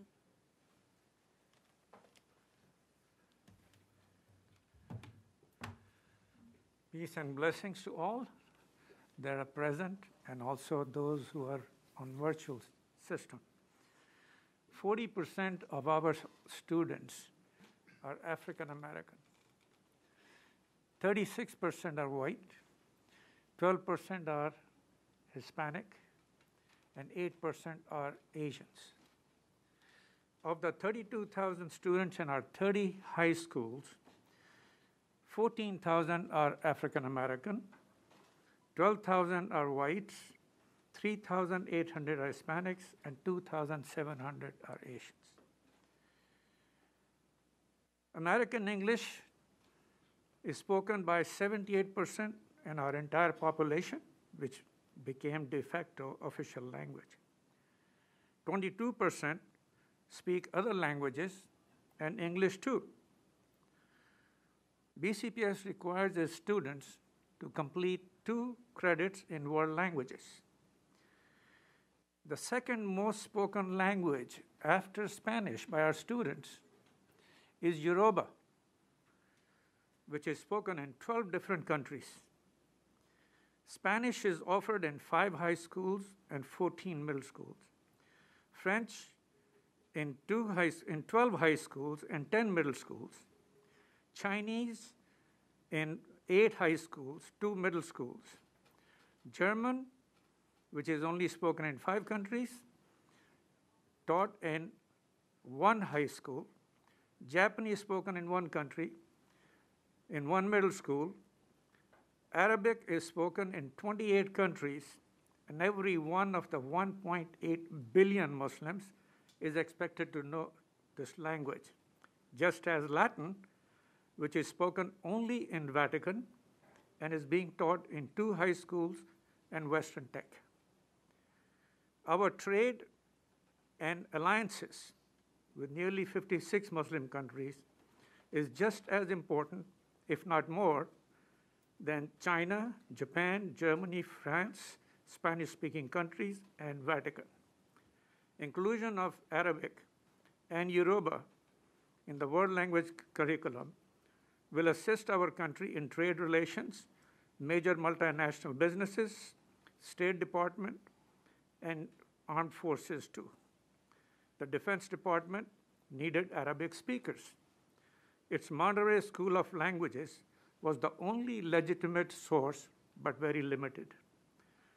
Students in the region of Catonsville, Randallstown, Owings Mills, Reisterstown should be given the opportunity, and those are logical, good locations to.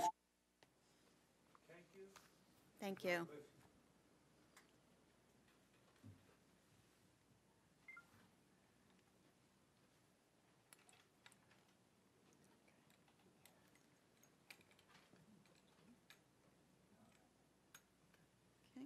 Dr. Byrne, you're next. When- I'm next. Mhm.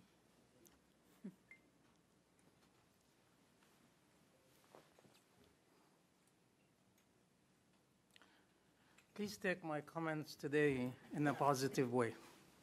They are. I went to a medical conference Saturday and Sunday out of state, and I really thought of you, the school system. So I was in a hotel, which I really love.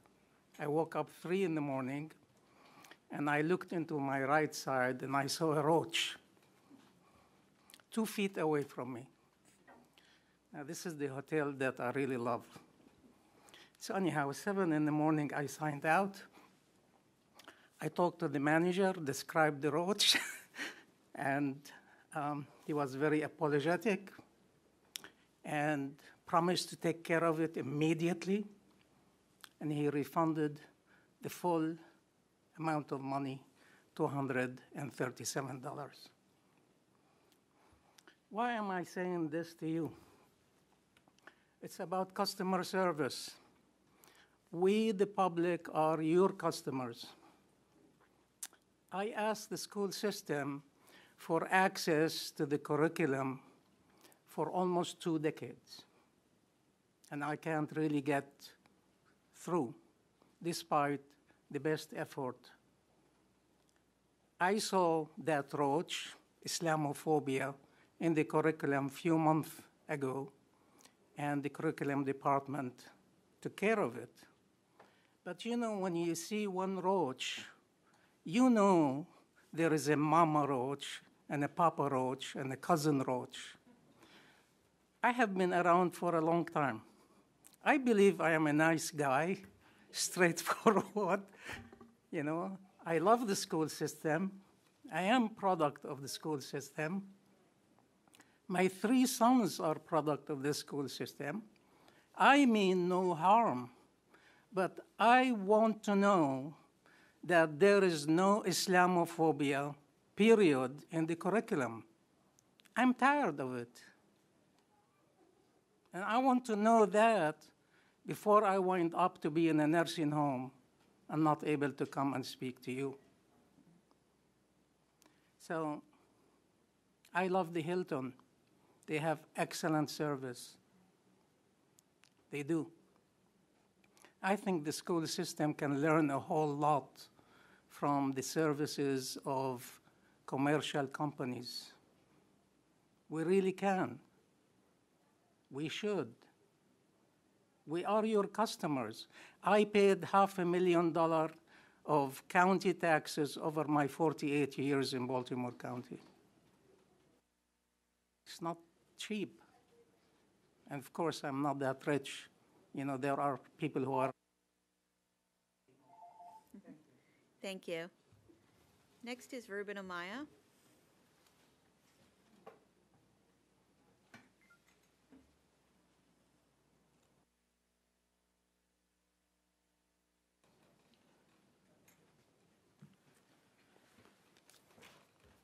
Welcome. Well, good evening, Madam Chair, Mr. Vice Chair, members of the board. It's great to be back here and address you all. You know, as we face daunting challenges within our education system, from staffing shortages to giving our students a normal learning environment, I think what is so great about our education system is that it's a reflection of the diversity of our county diversity in religion, race, background, creed, and ideas ideas that help us reflect upon and consider how we can improve our society. But across the country, we are seeing outright, uh, outright attacks on the dignity of education. Many elements of our history, diversity, and society are being and have been unwelcome in the classroom. But education at its core requires the consideration of multiple narratives and varying perspectives in order to teach students how to think critically. A proper education includes the parts of our history that can be uncomfortable to some, but which define the reality of all of us. Our students deserve to learn in a classroom that fosters inclusion, representation, and open mindedness. As a Latino who went through my entire K 12 education here in BCPS, it's really hard for me to remember a time in which I learned about my own culture or heritage other than when Latino History Month came around. And, that, and that's if it wasn't interfering with our curriculum. And I know many other students of different racial and ethnic backgrounds have felt the same way. And to say that students are learning enough about different cultures, identities, or ethnicities is not reflective of what we're seeing in our society today. But this also means we have to defend our administrators, our educators, our paraeducators, and our support staff.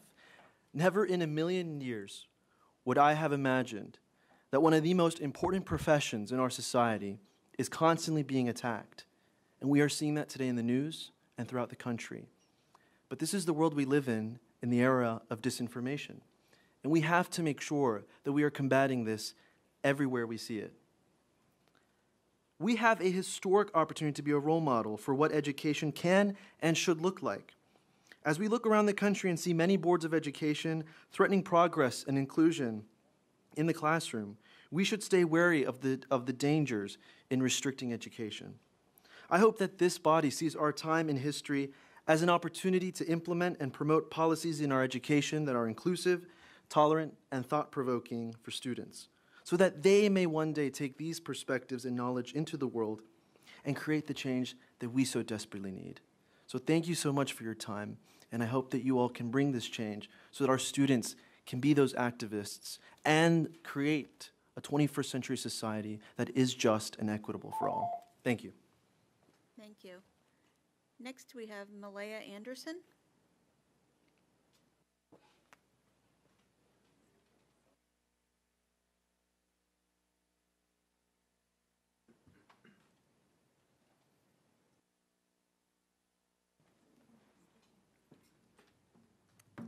Good evening. Good evening. Good evening, board members and Dr. Williams. I'm coming to you uh, this evening as a member of the Transportation Department. I'm a bus attendant at the Providence bus lot. And I just wanted to share with the board that most of us, if not all of us in transportation, we love what we do. Um, me in particular, I have a run that's at Ridge Ruxton Elementary School that I request every year because I love those children. We feel that it's our way of giving back uh, to the students. Many of our staff we've served uh, in Baltimore County for 20, 30, 40, some even 50 years. It's a lot of driving. But this is our dedication to safely transporting precious cargo. I would like to personally thank Dr. Williams and the board for the $1,000 retention bonus. Thank you. The $2 shift differential and the $50 attendance incentive. On a positive note, we've had a few new drivers and attendants coming to BCPS, which is always good news for us because it takes the load off of us. Although these are positive steps that we greatly appreciate, AFSCME knows that there's work to be done, and we look forward to working with you. Thank you. Thank you. Next is public comment on Board Policy 6400, magnet programs, and our first speaker is Sharon Saroff.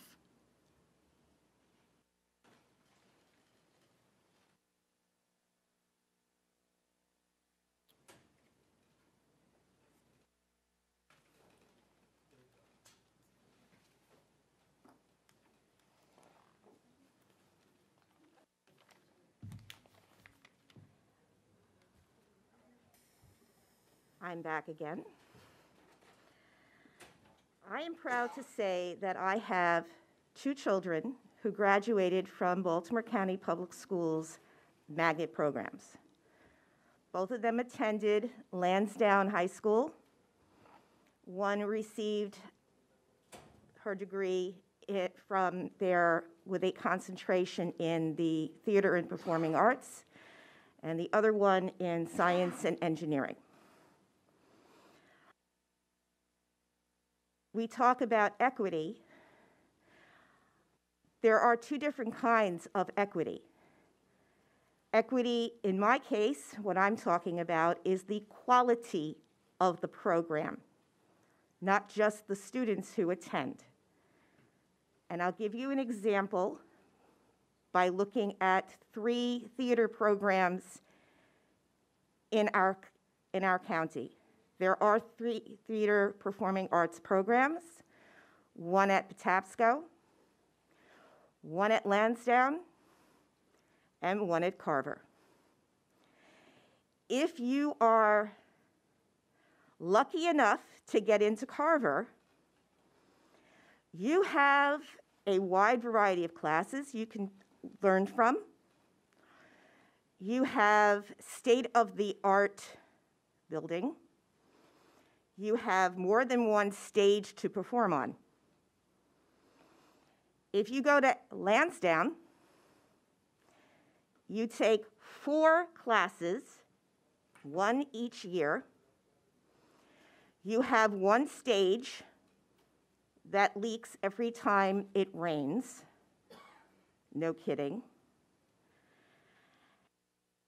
And you do not have access to the amount of classes that the other school has. And that's the same for Patapsco. That's what I'm talking about.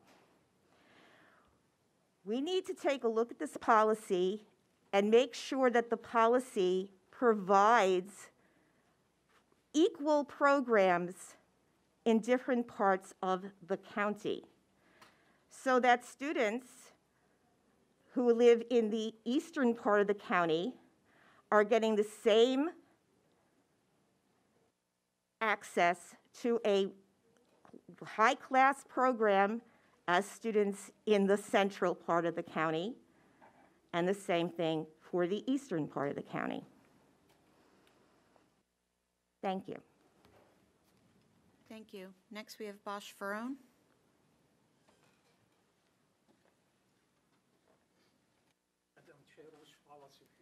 This is 6400 magnet programs. The discussion of the Board of Education in relation to 6400 shows how important that policy is, and I really appreciate the points. I myself, I really found the policy is good, so my comments today is basically 95% praise to the PRC. Um, and I have one minor recommendation.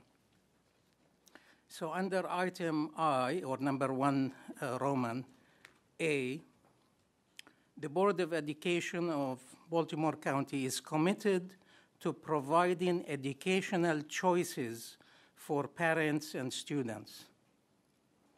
Providing educational choices. It doesn't really specify what kind of educational choices. So in the next policy, there is plenty of reference about appropriate this, appropriate that, which I really like. So my recommendation is that this policy would be modified to insert the word appropriate after providing. So it would say committed to providing appropriate educational choices for parents. And here is my thought behind it. When you put the word appropriate, the professional, which is the curriculum department, etc., they would look at the appropriate professionally based on their knowledge and experience. However, us, the customers, the public, when we look at the word appropriate, and if the school system is providing educational services that may be in conflict of what the public feels or thinks or believes, then it would be a point of discussion instead of complaining on Facebook, which I really hate, and alike. It makes the public into the policy. It makes them part of it. You know, again, as I stated in my earlier Roach story, we are your customers. The public is your customer. So the language needs to portray and include the public whenever it can. And I thought this would be a very simple uh, addition that hopefully would not create any you a conflict. Thank you again. Thank you. So Dr. Ferone, if you'd like to stay there, because we have Ms. Saroff, and then you're up again for 6402. Um, Thank you. So, Ms. Saroff, you're up for 6402. Special Education Services. My favorite topic. So we are teaming up. I don't think the board would appreciate that. Um, I'm going to read verbatim from this um, policy. The Board of Education of Baltimore County is committed to the principles articulated in federal and state law regarding the provision of a free and appropriate public education. FAPE, the protection of the rights of eligible students with disabilities, and the principle that every child can learn and succeed. I'm wondering what the uh, definition of success in Baltimore County is for children with special needs. Um, I hope that it's not what I'm seeing, and I'll give you a for instance. Um, a D in a significantly modified class is a satisfactory grade for a child with a disability. Even if that child is functioning five grade levels below where they're supposed to be. I've got clients on my caseload right now who fit that bill. The Board of Education is committed to providing equity and excellence in education, providing each student with an instructional environment that nurtures potential and enhances academic success. Please tell me how a child gains success when they are not even allowed access to the same classes that their non-disabled peers has access to.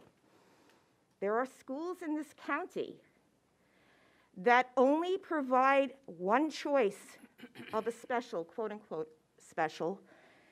If we can't schedule our special needs kids to take music, phys ed, but we can schedule them to take art, guess what? Art is all they get for three years or four years of school. That's not equity. Board recognizes that students with disabilities should be provided with appropriate services, supports, accommodations, and modifications to address individual needs and promote student growth. How does one get that if transportation is making the decisions as to where children attend programs? And that is something that is happening. If the Office of Transportation is not willing to extend a route so a child can go to an appropriate program, they get stuck in a program that may not be so appropriate. We need to align our policies to state and federal government policies, not make them up as we go along. Thank you. Dr. Farron? Good evening again. The policy 6402 is good. However, I have these comments. Under item A, regarding the provision of a free, appropriate public education. I know, I believe this is a law, F A P E, I believe, right? Okay. Mm-hmm. However, as public myself, I really wish that there is like an asterisk where you would, in the bottom of the policy, you define the word appropriate. Because appropriate, as my central council has already made the comments to you, is an elastic word. It can be interpreted in different ways. The other part that I really object to, and I know neither you nor I has a hand on, free there is nothing really free. We pay taxes. Okay, so I know you have to put it in there, but it's not really free. I'm concerned about the additions that central to this commitment is a review of budgetary requests and board advocacy for funding.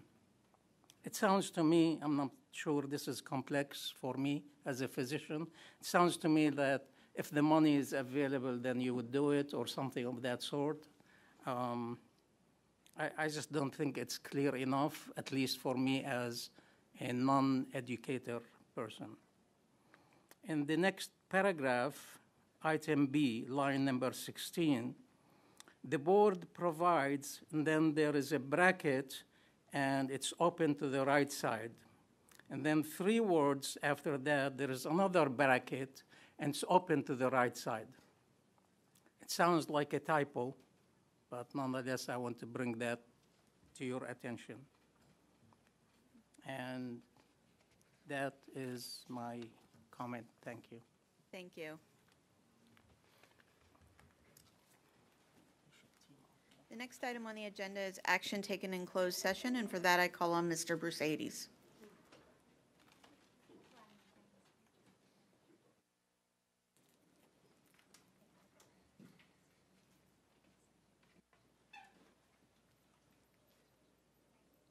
Good evening. Good evening. Recently, the board met in its quasi-judicial capacity to hear oral arguments, deliberate, and render decisions in two appeals. Those were cases HE 22-10 and HE 22-12. Now would be an appropriate time to affirm the votes taken on those appeals. Thank you. May I have a motion to approve the action taken in closed session on hearing examiners cases HE 2210 and 2212, and authorize Ms. Gover to sign for those board members not physically present? So moved, Mack. Second row. Thank you. Um, Any discussion? Hearing none, may I have a roll call vote? Ms. Rowe? Yes. Ms. Mack? Yes. Ms. Jose? Ms. Jose? Mr. McMillion? Yes. Mr. Thomas? Yes. Mr. Offerman? Abstain. Ms. Scott? Yes. Dr. Hager? Abstain. Mr. Kuehn? Ms. Henn? Yes. Ms. Jose?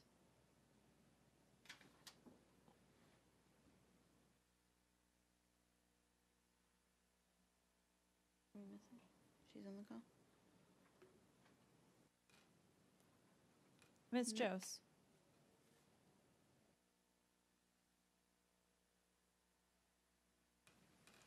Favor six. So, Mr. Mercedes, so the motion fails.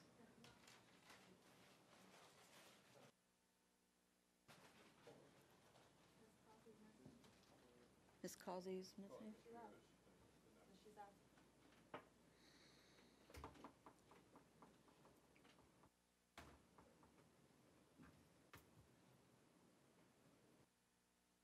Have we heard from all the We have board not members? hor- heard from all the board members that are technically present. Uh, should Maybe be we should uh, entertain a motion to table this until uh, So moved. the others are here? Second. Second? Okay. May I have a roll call vote, please, Ms. Gover, on the motion to table? Yes. Ms. I have a Rowe second. made the motion, Mr. Offman second. Ms. Rowe? Yes. Ms. Causey? Ms. Mack? Yes. Ms. Jose? Yes. Mr. McMillion? Table. Table. Mr. McMillion? Yes. Mr. Thomas? Yes. Mr. Offerman? Yes. Ms. Scott? Yes. Dr. Hager? Yes. Ms. Henn? Yes. The motion And, carries. Okay, and now I see that we have uh, one board member returning and another virtually who appears to be on the phone. Uh, Maybe we can uh, take the vote again to approve the board's prior vote on these two appeals. Let's try that again. Okay. May I have a motion to approve the action taken in closed session on hearing examiners cases HE 2210 and 2212, and authorize Ms. Gover to sign for those board members not physically present? So moved, Mack. Second. Thank you. Any discussion? May I have a roll call vote, please? Ms. Rowe? Yes. Ms. Causey? Yes. Ms. Mack? Yes. Ms. Jones? Yes. Mr. McMillion? Yes. Mr. Thomas? Yes. Mr. Offerman? Abstain. Ms. Scott? Ms. Scott? Sorry, yes. Thank you. Dr. Hager? Abstain. Ms. Henn? Yes. Favor is eight. Thank you. The motion carries. Thank you. Thank you, Mr. Mercedes. The next item on the agenda is the update on the efficiency and effectiveness review, and for that, I call on Dr. Williams. Yes, I'm going to ask uh, Ms. Charlie Green and Dr. Yarborough to please come forward. So good evening, Board Chair Henn, Vice Chair McMillion, and members of the board. Tonight, I present update number six, a clear path forward, our system plan to address needs outlined in the Public Works Operational Efficiency Review. Our plan is aligned with the blueprint for Maryland's future with the goal of positioning Baltimore County Public Schools as a premier school system. My goal is to provide an update on our progress with respect to assessing, adopting, and implementing recommendations outlined in the 759-page report. We will continue to update the board, our community, and Team BCPS during this time of change. Our partnership is critical to ensuring high-quality services to the students, staff, and families of Baltimore County. Next slide. We know that our efforts to heal, rebuild, and recover must be ongoing. Each and every day, we are seeing signs of the next normal, and all point towards continued healing. Next slide. So, as you know, a 759 page review of our school system requires a balanced and steady approach for successful implementation. This slide shows the three types of groups that have been involved in reviewing and assessing the recommendation in each chapter. The first group, division work group, ro- groups. The second one, blueprint review team, and the third is stakeholder work group. On March 8th, our deputy superintendent provided an overview of the status of the efficiency review.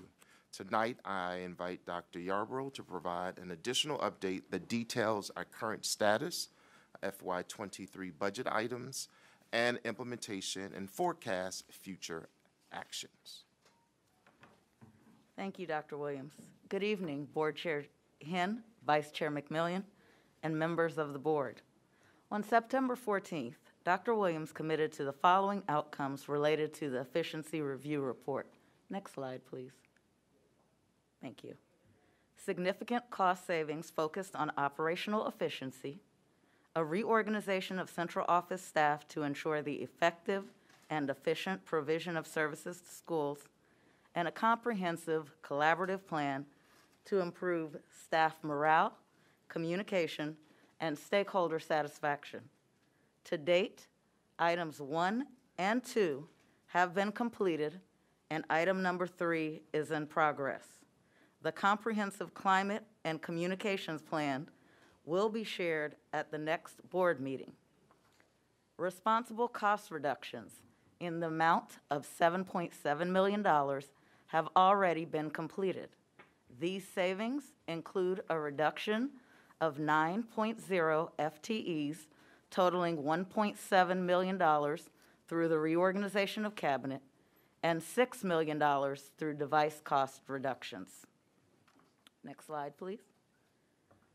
This slide categorizes the type of recommendations in each chapter.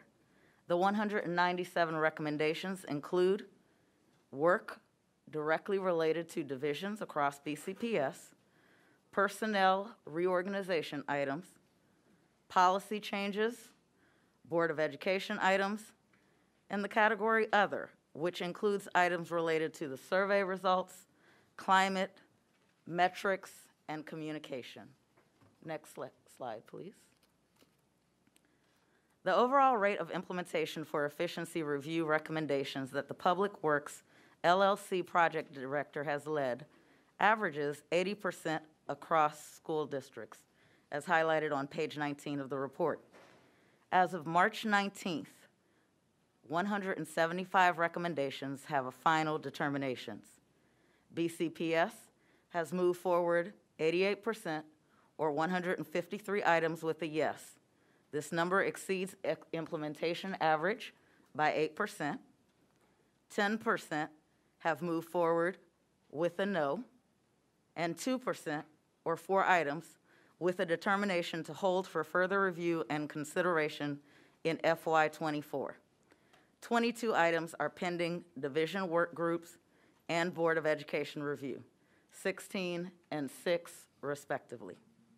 Next slide, please. In addition to the $7.7 million savings that have already been actualized, 24 recommendations were targeted in the report for the FY23 budget. Six items, or 26%, were efficiencies, meaning they included enhanced processes or renaming of departments. 13 items, or 56% of the recommendations, were efficiencies with associated costs. These items included additional positions and stipends. Two items identified additional savings through the elimination of additional positions. And the last two items were classified as other. They were specific to different aspects of the morale plan. Next slide, please. Of the 24 recommendations, identified for FY '23. 18 items have been moved forward with a yes or yes with modifications.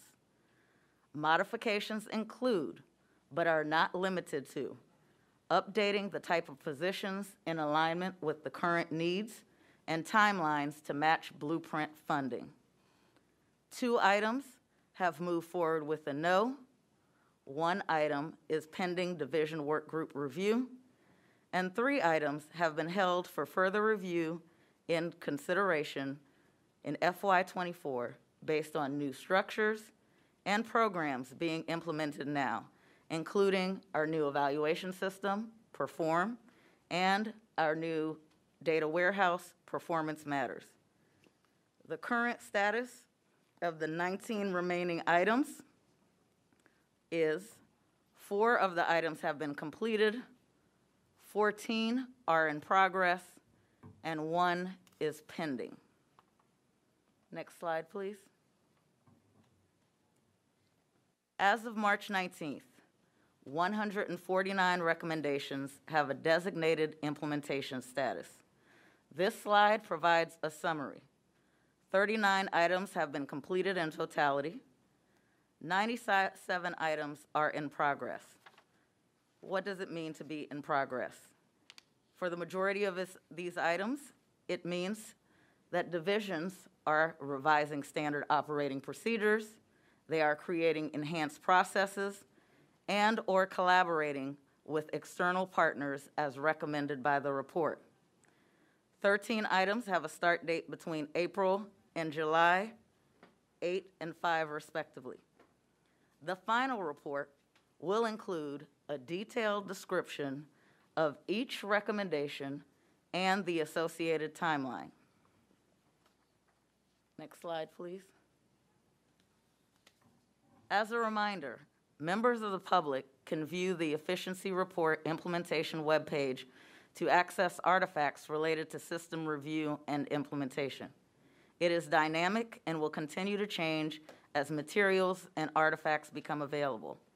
The final report will be posted on this page later this spring, spring in the upcoming weeks.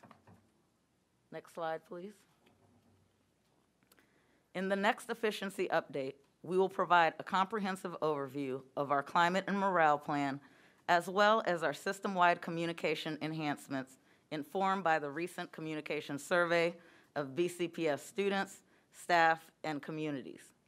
The BCPS Climate and Morale Plan has been collaboratively developed in partnership with all union presidents, focus groups including non-represented staff, and external partners in alignment with the efficiency report. Major components of the plan include organizational climate, engagement, recognition, and wellness. Thank you for your time and attention. I turn it back over to Dr. Williams to share information about the BCPS response to ensuring safe and supportive environments. Next slide, please. So yes, continuing that theme of climate um, and uh, morale. Last fall, we began our community town halls in response to the needs of our school communities.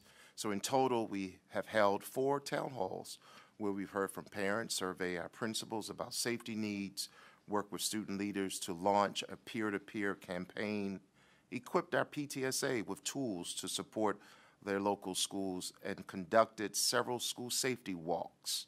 In April, we will host a multi-district roundtable meeting with five neighboring school systems to share ideas related to school safety. Based on these opportunities to listen and learn, we have developed a course of action to ensure ongoing supports for our school communities. At our next board meeting, I will share detailed information about this plan. The key elements include grant-funded student safety assistance at the secondary level, enhanced community partnership opportunities, revamp uh, processes and procedures, excuse me, to effectively communicate outcomes related to bullying and harassment investigations, and a widespread information campaign to promote the use of the Maryland Center for School Safety reporting tip line. So I would like to thank all members of Team BCPS for your partnership and collaboration on this very important topic. I think that concludes our, our update.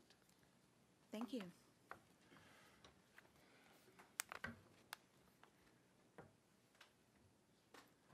Board members, questions?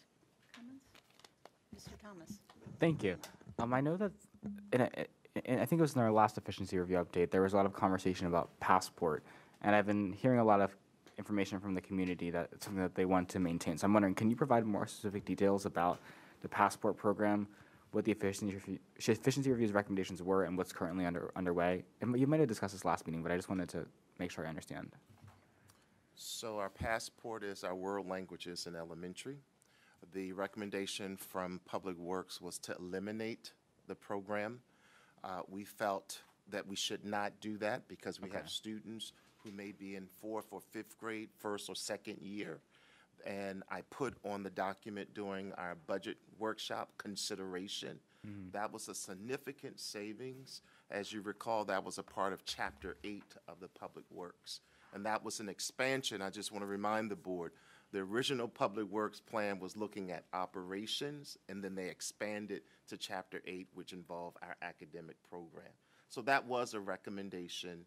Um, And there was also a recommendation to look at um, an immersion program, um, a little bit of history, and Dr. Boswell McComas will correct me. We've had that, an immersion, immersion program, and converted to our PYP program, all aligned with IB. So that's why some of these recommendations, many of these recommendations, if not all, we had to make them our own and look at what existed in the system to make informed decisions. And so um, I put that as a consideration. We could phase it out over time if, if, but we're having those, you heard speakers today about increasing more world languages. Right. So, so that was a consideration um, that I offered, but at this time, we've, we have taken no action on that. Okay, thank you, and that's really good to hear. Um, just in conversation, when I visited Bear Creek Elementary School, Lyons Mill, uh, Padonia International just the other day, I know the importance of passports. So I just wanted to make sure that we are still continuing with that. So thank you for sharing that. Yes. Ms. Mack, did you have a question?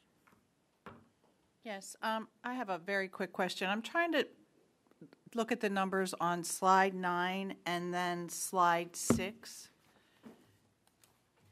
So slide six has a total number of efficiency review recommendations of one ninety-seven. And then slide nine is a, a breakout of one hundred and forty-nine of those. What is the difference? Like, uh, uh, if I had had more time, I could have figured it out, but I'm sure you know. Yes, so the, uh, the recommendations that are missing, um, you have the recommendations that were a no. Uh, those are omitted, as well as the recommendations that are back to the division work group, um, for review. You have the recommendations for the Board of Education, and I believe the, you've, we should have maybe four left, and those four might be the four for FY twenty-four. But I would have to go back and double check. You, you don't have to. I, I knew there was a, a, an answer, but I just couldn't figure it out quickly enough. Thank you. Thank you. Other questions, board members? Okay. Ms. Causey?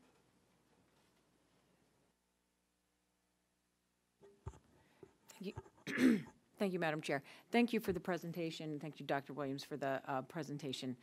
Um, There was a uh, document that was discussed in the operating budget work sessions related to um, recommendations that are being postponed until fiscal year '24 that had dollar values associated with them. And I, that document was supposed to be attached to board docs, and I was looking for it, but I could not find it. So I'm requesting if staff could figure that out. Since it was discussed in an open meeting, it should be available on board docs. Um, If I may respond, I, I think you're talking about the addendum that was a part of the work session that we had that was very specific regarding the, the efficiency, and it's my understanding that was attached. Um, But we'll go back and, back to the notes, and I'll work with Ms. Gover just to confirm that. Sure, and if you could just update us, that, that would be great, because we had a number of work sessions, so. um, So my one question is, um, what additional resources are being provided to the board office in- to assist with the implementation of the board, the board's uh, recommendations? Because as we know, the board office is only staffed with one uh, individual, and um, there's a lot of work to be done, so. So thank you for that question. That was a part of your um, amendment to the board, to the FY '23 budget. And so at this point, um, that has been shared, and we're just waiting for our county executive to present his budget. Um, And then we will wait for the May meeting in which the county council will approve, and then we would amend based on what we hear from the outcome of that meeting. Okay, so does that mean there's not any staffing resources that are available in terms of um, assisting the board before then? I mean, for instance, Well, instance. let me suggest that the board, maybe the full board, may want to have a conversation around chapter one. There are several recommendations that were, that uh, pertain to the board, and I would offer that that may be a follow-up. If I recall, the last update that was made uh, regarding chapter one specific to the board um, was in October or November of 2021. So that might be some next steps. And I can also speak to that, Dr. Williams. So some of those recommendations are also being addressed in committee as appropriate for each committee. Budget is addressing them, PRC is addressing them. So we are also facilitating the work through committee as appropriate and trying to um, address those along with the regular work of the committee. So um, those chairs have been doing an excellent job at working that in with the regular work of the board as well. So until those resources are made available, we are moving forward with the recommendations that we can. Okay, thank you, and I know Policy Review Committee uh, has been working on that, and the liaison and staff have been um, very helpful, and we've seen Has a uh, budget. evidence on the website and in board docs. The other question I have is, um, Public Works has an implementation plan, and I'm just curious if this document could be updated with the status of this information, which is helpful. uh, And I went on the page, the efficiency review page, but there's like 37 different minutes that speak to each recommendation. So just as an overall guide that uh, we could understand and the public could understand. Sure. I will also say I want to commend the team for making a website and making everything transparent. Um, that you can always go back and review. And as was reported, we will find we will present the overall final report that would be aligned with the recommendations um, put forth by Public Works. So we appreciate your uh, feedback, Ms. Causey, and uh, uh, we're wrapping this report up. Thank you. Absolutely. Thank you. So I'll go to Ms. Rowe, and then I'll um, go around the dais and to our remote board members and, and make sure anyone who has a question has the opportunity. Ms. Rowe? I just want to go back to the passport program for a second. Um, What was Public Works' reasoning behind why they wanted us to get rid of it? Did they want us to get rid of, like, surely they didn't mean get rid of all the foreign languages? No, it was specific around the passport program at the elementary school level. Okay, and so, And just, I- so just to remind the board, these are recommendations. mhm. Um, And as you see, there's several of them that I chose not to move forward.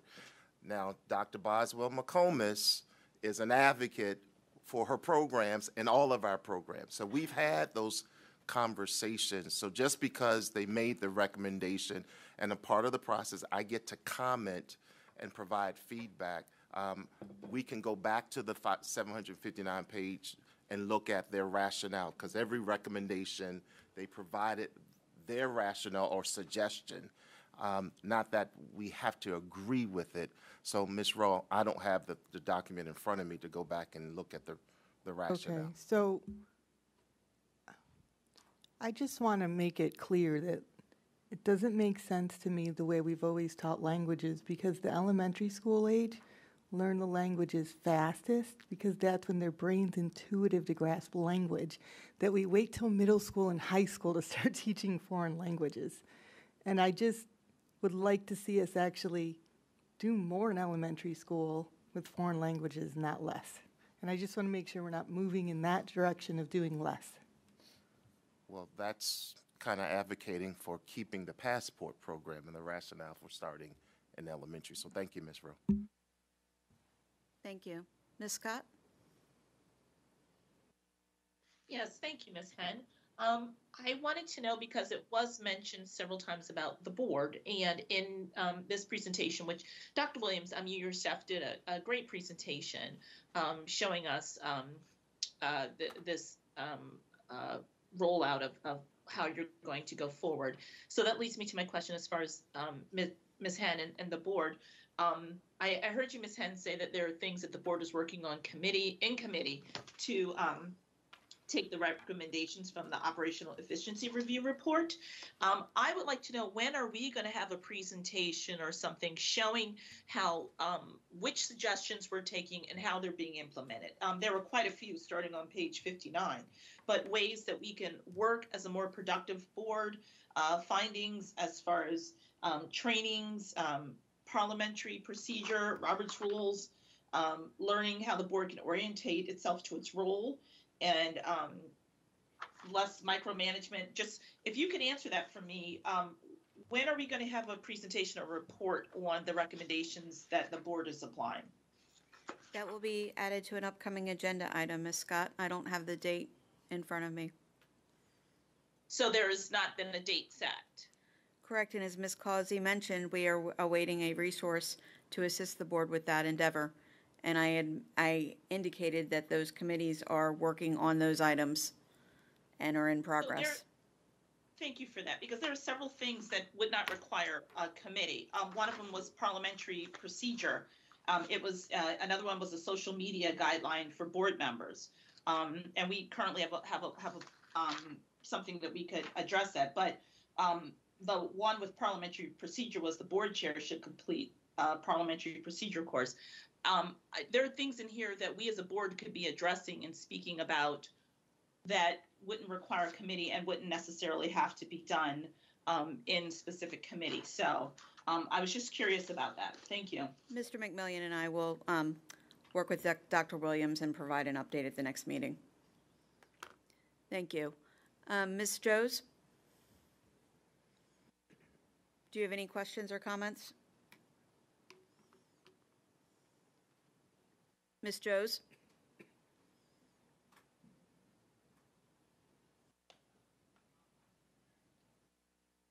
Okay. Dr. Hager? Um, I don't, know, I was just looking at the website, though. Thank you for putting that all together. It's really nice, and I appreciate the work that you. Thank you. Mr. Offerman? None at this time. Thank, Thank you. Mr. Thomas, any other questions or comments? No, I just wanted to say thank you to the staff for this presentation, for all the work with the efficiency review, and I think that the implementation has been incredible so far. Thank you. Mr. McMillion? No, thank you. Thank you. And I will add, I appreciate the efforts on the website. There's a lot of information out there. Um, I will add to Mrs. Causey's comment, it would be helpful to see the status of each recommendation in one place in a, I'm going to use the term dashboard, but I don't need anything that fancy, but one table of the recommendations with the status of each would be helpful to see. But I certainly appreciate all of the work that's gone into it and all of the work of the various committees. So thank you very much. Thank you. On the way. Mrs. Causey? I just had one quick question. When I was reviewing the um, webpage and all of the different meeting minutes, the work groups, many of them were established, I believe, in October. And since then, we've had some significant um, employee um, changes, including the addition of new ch- chiefs per the recommendations. So I wondered if any of the work groups are going to be updated with um, new staff uh, for whom reviewing these types of recommendations might be helpful. Thank you for that question. Uh, Many of the work groups have completed their work, um, except those 16 that have to go back because the stakeholders sent them back uh, for further consideration. Um, Purposefully, to keep the work closest to the people that are doing the work, we didn't have any chiefs on the work group. And so with the central office reorganization, the new positions doesn't impact the composition of the group. But certainly, if there are any people who were promoted or moved to another department, we definitely, um, you know, made sure that we uh, sought that feedback to uh, replace them to have someone uh, give that critical uh, input. Okay, thank you. Thank you, absolutely. Thank you. And Ms. Mack, did you have anything else? I have nothing further, thank you. Thank you. Ms. Rowe? Anything you else wanted to add? Okay, thank you. Thank you. Um, Ms. Scott, I believe, had one more question. I'm sorry. Ms. Scott, did you have Yes, another? thank you. Yes, certainly. Um, just an additional question or comment, um, when you said like a status update, um, for, uh, the updates as they come in one place, I would like to see one of those as well as for the board recommendations, because there were some pretty serious recommendations in there that go to our governance and, or, or lack thereof. And I would like to see the updates, um, simultaneously shown next to the, um, ones that the system is doing that show what we've addressed, how we've addressed it, and how it's being addressed. Thank you. Okay, thank you all. If, if I may comment, um, the report, the 197 recommendations, um, eight chapters, they not only talk about the operation side, but they also mention to, mention some aspect of the board. So maybe prudent that we have the complete picture in totality than piecemealing it. Again, we're, we're prepared to, to finish this report since September. And I'm sure the work groups are ready to, to wrap it up as well. So I would just say to the, to the board, we're planning to provide another update, um, but I will work with board leadership. The next update should include the totality of everything. And so I appreciate what you said, working with Mr. McMillion and board leadership, um, versus us placing our piece up there and there's an incomplete information. That's all I'm saying, to have the totality, then piecemeal it. But that's something we can discuss at a later date. Thank you. Thank you, Dr. Williams. Thank you. Thank you. The next item on the agenda is the report on second quarter results. And for that, I call on Dr. McComas, Mr. Connolly, and Dr. Elmendorf.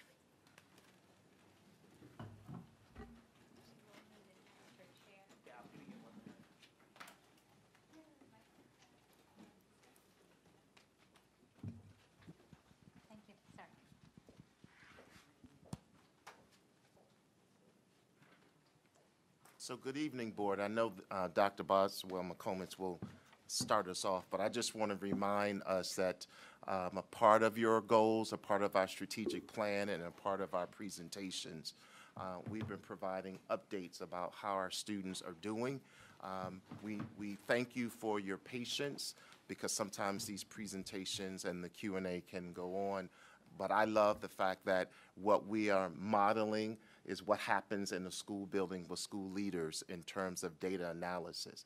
It paints just one picture of how our students are doing. And keep in mind, our students um, are, are transitioning to this next normal, uh, especially what happened last year and the year before.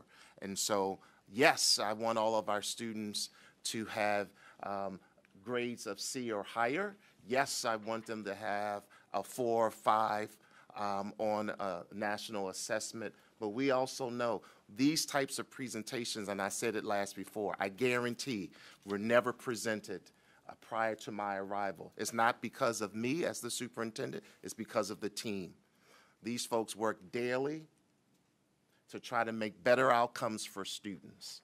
And that's why we always have the perspective of central office and school base to let you have a glimpse of what happens in the day-to-day operation. It doesn't tell the whole picture because if Mr. Martin here, and thank you, Mr. Martin, for being here, if he were to tell the whole picture, we will be here all night.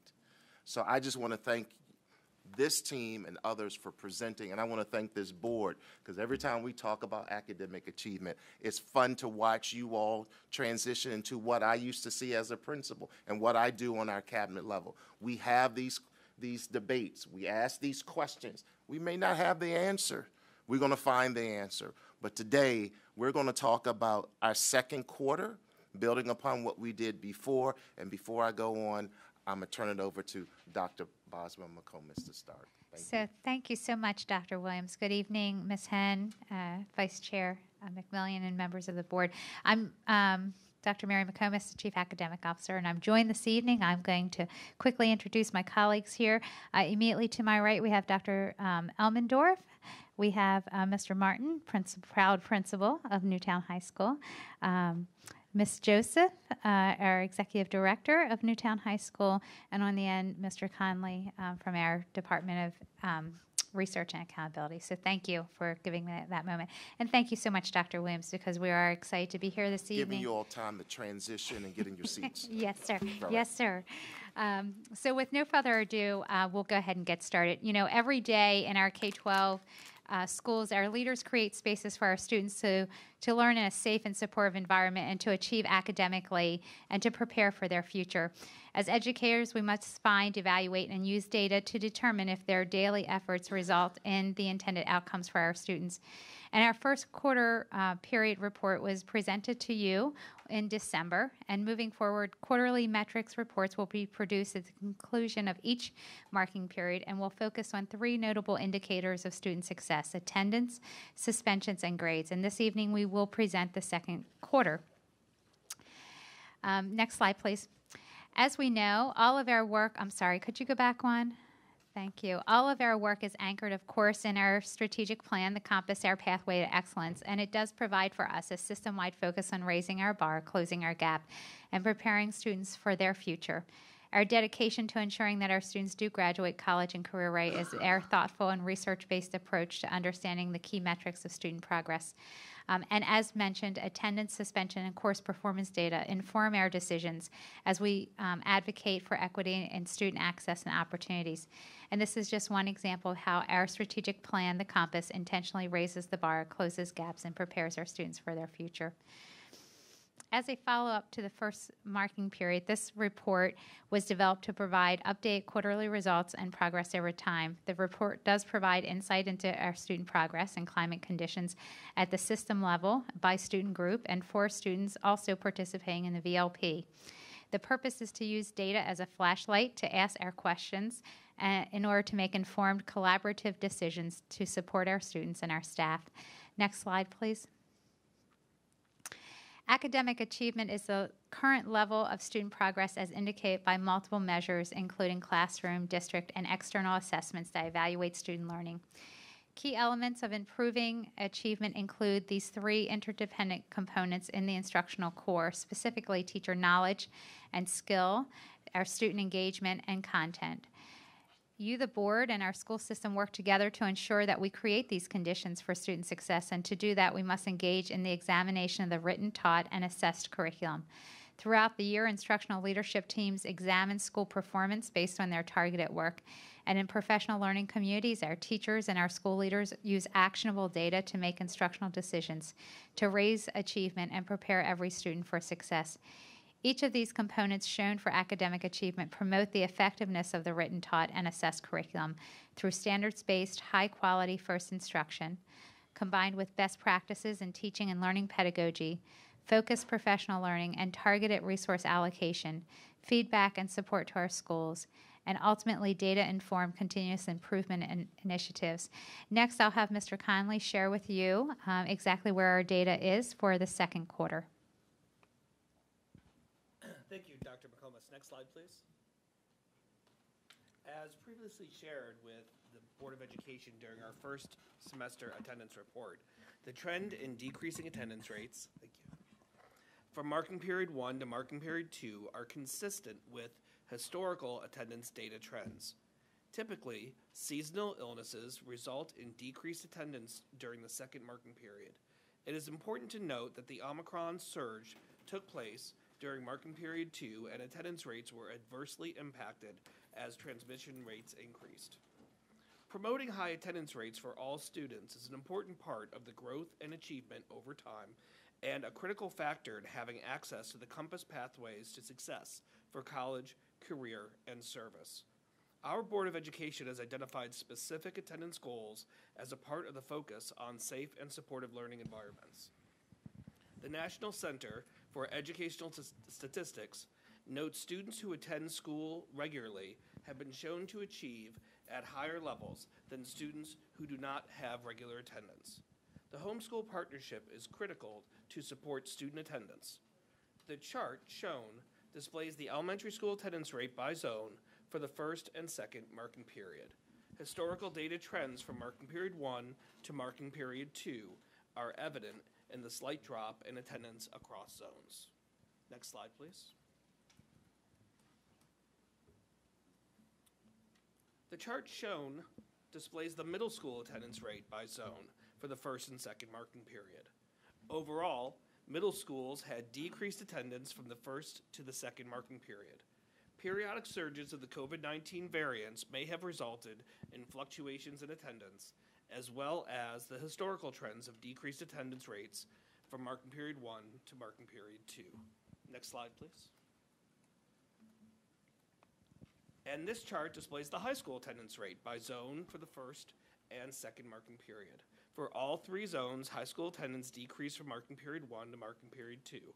As previously shared, during our first semester attendance presentation, pre-pandemic attendance rates from 2017 to 2020 show an approximate 3% decrease from marking period one to marking period two. The impact of the COVID 19 global pandemic has resulted in a more significant decrease in high school student attendance rates. Next slide, please.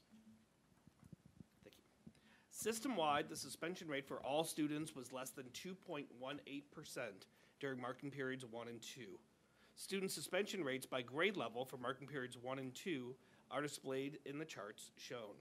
The overall suspension rates are comparable to the pre pandemic COVID 19 um, 1920 suspension rate data by school level for marking periods one and two.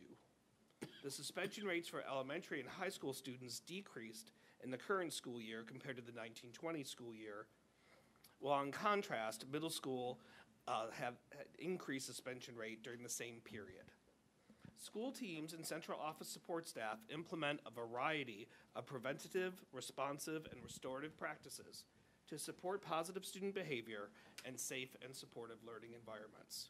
Prevention involves proactive school wide strategies, such as the BCPS Code of Conduct, character education, conscious discipline, and positive behavior interventions and supports.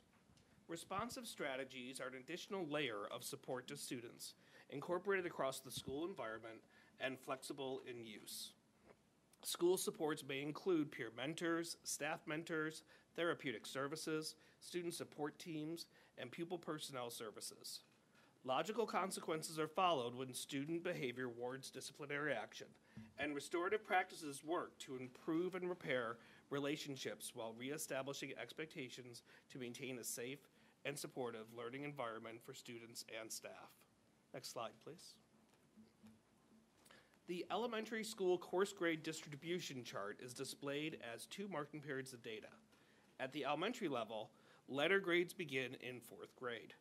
The top half displays the percent of students in grades 4 and 5 earning a course grade of A through E for social studies, science, math, and ELA for marking period 2, while the bottom half displays the same data from marking period 1.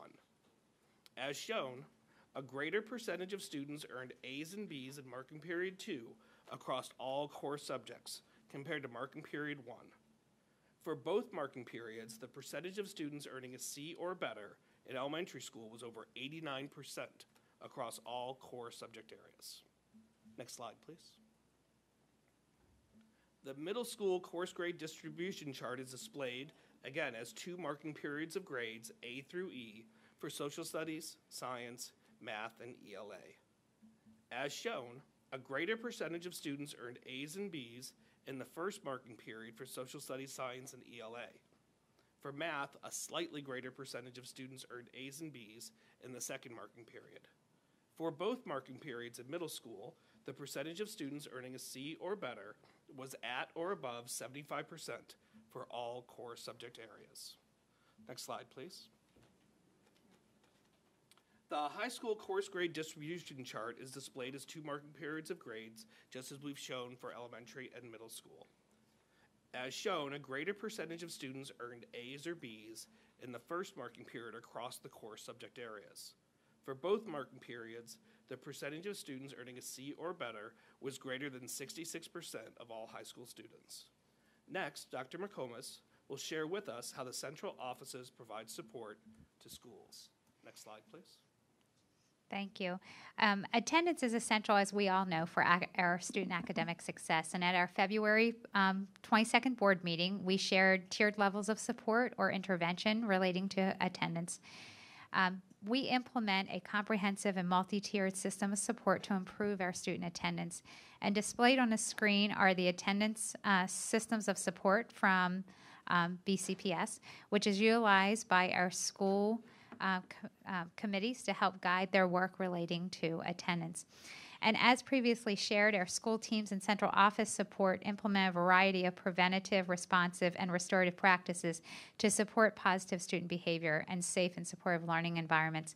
Our system improvement team work group, uh, focused on suspensions, analyzes our school system suspension data to, ter- to determine which schools are in need of individualized support in the areas of climate and culture. Next slide, please. In addition to the supports provided to increase student attendance, engagement, and positive behavior, our central office team uh, also work in collaboration with schools to identify strategies and resources to support instructional growth. Specifically, our content offices have developed um, curricular resources to support learning acceleration at point of use in the curriculum. These resources help our teachers to prioritize the content standards and to provide rich instructional experiences for our students, to address any unfinished learning, and to reteach concepts based on current instructional data. We also provide professional learning for our school based administrators and instructional leaders on best practices for responding to data in real time. For example, our math team has worked collaboratively with our schools to identify students who have not yet met with success in Algebra 1 and they have developed a variety of strategies for schools to provide what we call in time recovery using a push, pull, or pace model as illustrated on the screen in front of you. From the school perspective, we are uh, previously we previously shared, excuse me, from um, marking period one, how this work is operationalized at our elementary level. Um, for this evening's presentation, we're very excited to have Ms. Kyria Joseph, uh, our secondary executive director, and Mr. James Martin, uh, proud principal of New Town High School, uh, here to share strategies for how high schools continue to work uh, to prepare our students um, as they um, as we prepare them for college, career, and military service. So at this time, I'll hand the presentation over to Ms. Joseph. Okay, thank you, Mary. In the Department of Schools, uh, we work with principals and leadership teams to use Performance Matters for data analysis of standards.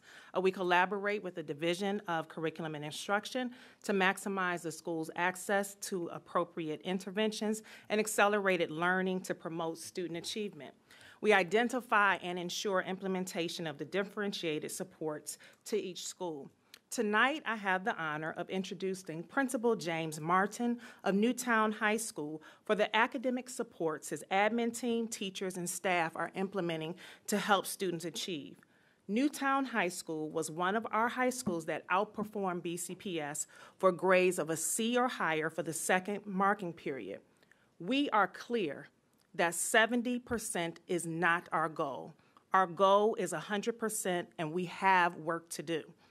Principal Martin will highlight key instructional supports to ensure his students continue to demonstrate growth in all academic areas. Next slide, please. Excuse me, Ms. Joseph. This is the slide that Ms. Joseph was speaking to. If we go to the next slide, that will be for New Town. Thank you. Thank you. Thank you and, and greetings. As the proud principal of New Town High School, it is an honor to highlight the success of our wonderful students, teachers, and administrators at our school. The beginning of our school year began with the theme and focus attend, achieve, and accelerate. Our instructional leadership team has partnered with our BCPS DRAA to receive continuous professional development on how to analyze student data in order to provide strategies to our staff to increase student content knowledge. New Town High School uses various forms of data to drive instruction, from previous MCAP trend data to BCPS Schoology to the new Performance Matters program. Performance Matters helps our leadership team and teachers analyze student successes as well as current content deficits, which enables teachers to develop strategies to accelerate learning. When walking through New Town High School, you may visit a classroom and you may see an activity such as Desmos being implemented to teach content standards. This gives the ability to provide responsive instruction to a class or individual student to address current deficit skills. Next slide, please. An additional way that New Town High School supports student acceleration with our Titan is our Titan tutoring program. Students involved in the Titan tutoring program are members of an organization that serves students' academic success while addressing their SEL, social emotional learning needs. Through the designed small group instruction that takes place on campus, instructors utilize time to review student data, set goals, support below average performing students, teach or reteach, and remediate instruction. The team also uses data points to target supports based on students and their various needs.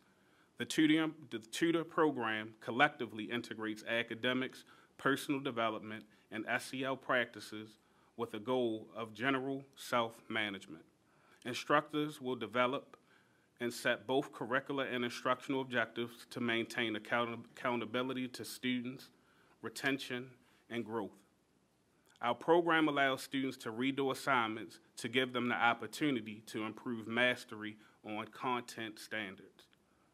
We not only owe our success to our hardworking students, but also recognize the hard work of our counselors, paraeducators, additional assistants, teachers, assistant principals, and office support, which we call our Super Six. In closing, we are excited about our 70% of achieving C or better, but we continue and won't forget about the 30% who did not make it. New Town High School is striving for 100%. Thank you. Next slide, please. Excuse me. Thank you, Principal Martin. Attendance rates in the VLP have decreased slightly but continue to hover around 90%, which is aligned with system-wide attendance rates.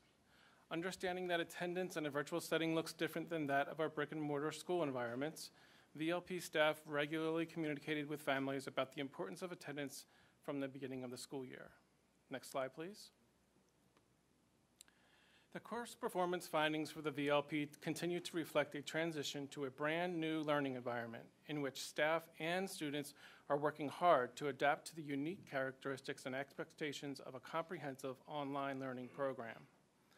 The percentage of students earning a C or better in high school mathematics has increased from 52.6% to 55.3%.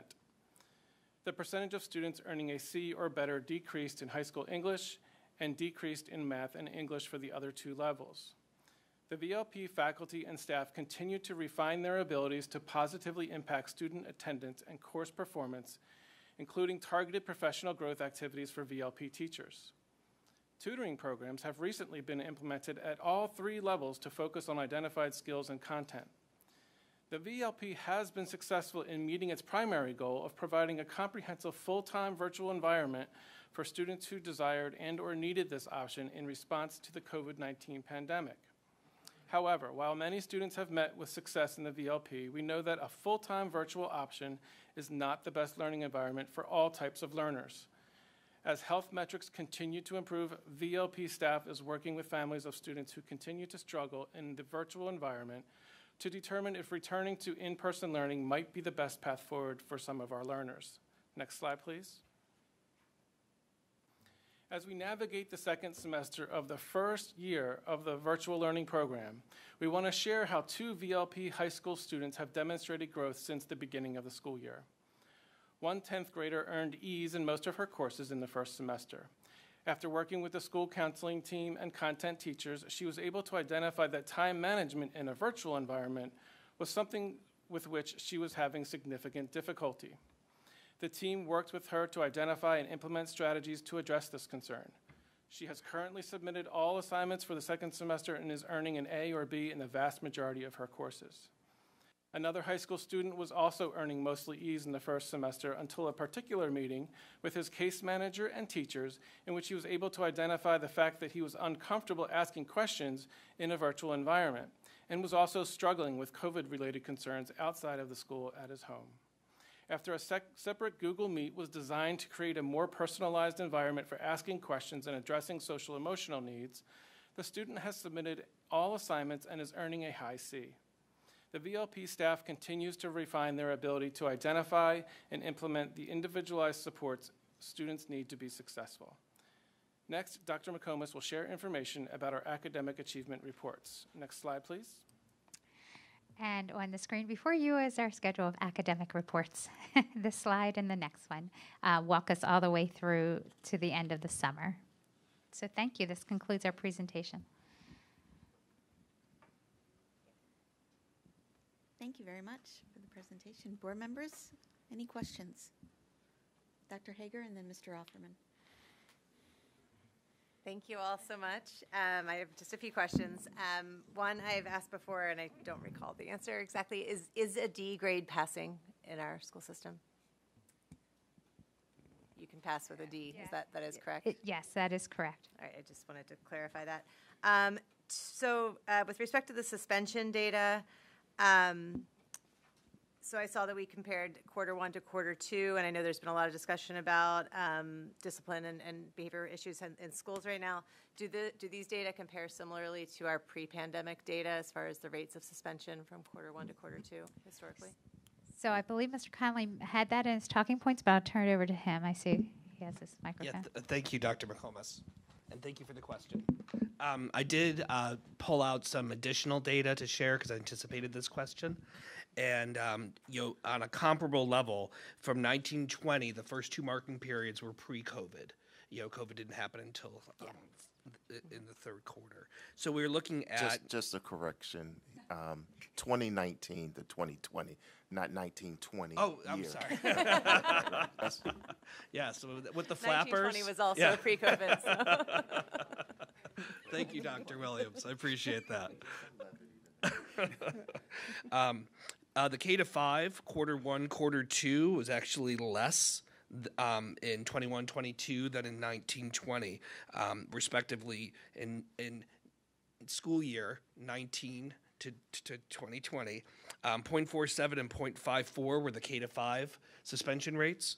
And in 2021 and 2022, the quarter one and quarter two suspension rates were 0.33 and 0.45. For um, high schools, we also saw a decrease. In the 2019 2020 school year, we had for quarter one and quarter two 2.59% and 3.27% respectively. And for the 2021 2022 school year, we had 2.44 and 2.85% respectively. In middle school, we did uh, mention how uh, we went up, you know, from marking period one to marking period two, but also from the 2019 to the 2020 school year. Um, it was 2.92% and 4.07%. And in 2021, 2022, we had 4.41% and 4.56%. I think I followed that. So it sounds like um, it typically does go up between quarter one and two. Yes, Anyway, yes, yes, and, like and that's- that's also accurate for you know pre- historical data. Okay, great, thank you. Um, Shifting gears, on slides 11 to 13, talked about different supports that are in place. Are these all new supports post-pandemic, or are these things we've been doing for a number of years? So I can go for um, the information for the Department of Schools. We have typically done that, but what is new is how we're using a performance matters, um, doing the professional development with our leadership teams, and really now we can pinpoint down to deficit skill by student um, that information in which teachers can then use that to really target and reteach that skill. So that is something new, that access that we have there for the performance matters. And are people are using it? Yes, we are, we are actively uh, using it. Um, our principals, but but now we're down. Our teachers, our department chairmen um, are using that information so that every decision that we're making is a, is a data informed decision, um, and we're able to highlight uh, some of the things that we were able to highlight tonight to really pinpoint what is it that we're doing that is actually working in some of our. That's fantastic, thank you. Um, And last, eh, eh, Dr. Williams, I really appreciate having the, the school level perspective in these meetings. I just want to thank you for in- including that. And uh, so to Principal Martin, what is the best thing that you've done this year that's new that you hope to continue doing? Um, I believe the best thing that I offered or that we do at New Town is being able to really um, hone in on standards and giving students opportunities to really master those standards. Um, when we talk about our tutoring program, um, we have a great number of students that enjoy um, the SEL, building relationships, but also really mastering standards that they may, might not have received the first time around. Great, all right, thank you. Thank you. Mr. Offerman? Yes, this question may be uh, slightly, uh, slightly off this report, but I'm very interested in what happens when a student gets suspended in terms of what, uh, what, uh, what measures are taken to make sure that he doesn't fall further behind uh, in terms of academics. Okay. So when a student is suspended, we always communicate with the teachers. Um, we provide the work that they um, may miss while they're out. Um, ultimately, we try to um, introduce them to, of course, our tutoring program and other sources um, just to, uh, you know, uh, be able to discover or find those deficits that they may have missed while they're out. How about, uh, how about system-wide? Is that, is that, is that what's going on in a lot of places?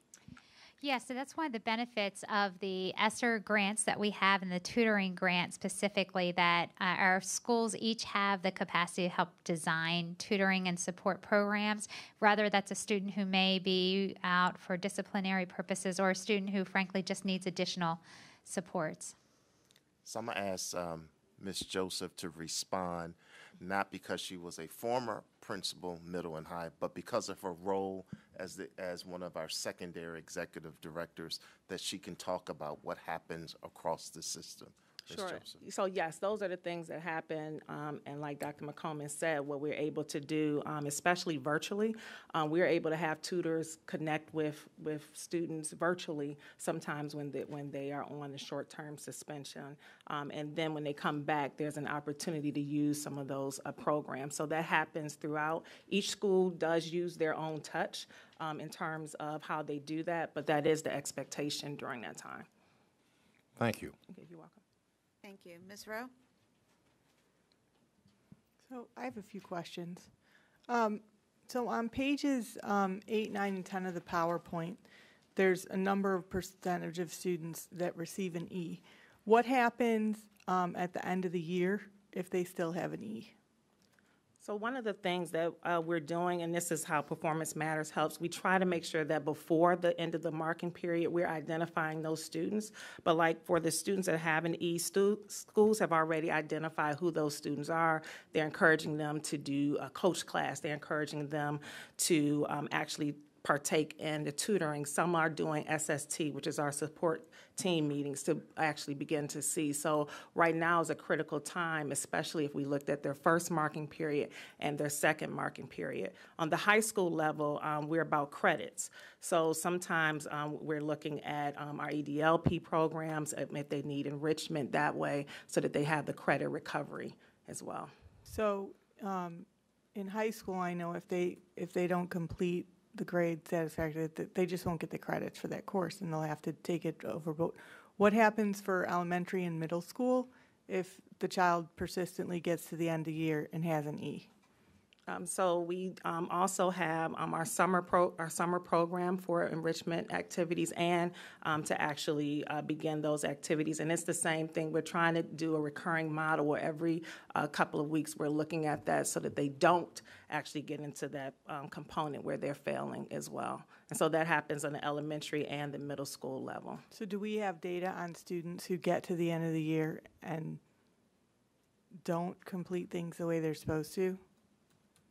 We have we data follow on those, up with and them those, the well, next those year? are the students who we invite um, to come, and so we start to invite them around April to come to our summer enrichment programs um, to try to make up for those deficit standards. And what Performance Matters does now is now we have down to the standard on what they did not um, master that we can go over and infuse in those programs. So like Sylvan or somebody would do? Correct. Correct. Okay. Yeah. Um, So there's a chart on, it's um, 14, and I see that the columns on those charts are the grades. But if you look at the MCAP, um, pre-pandemic MCAP, In ELA, it would be fourteen point three percent for ELA math, five percent, and science for fourteen point four percent. Can you explain the uh, disparity between the student, the percentage of students found proficient on the MCAP and the percentage of students um, getting a grade C or better?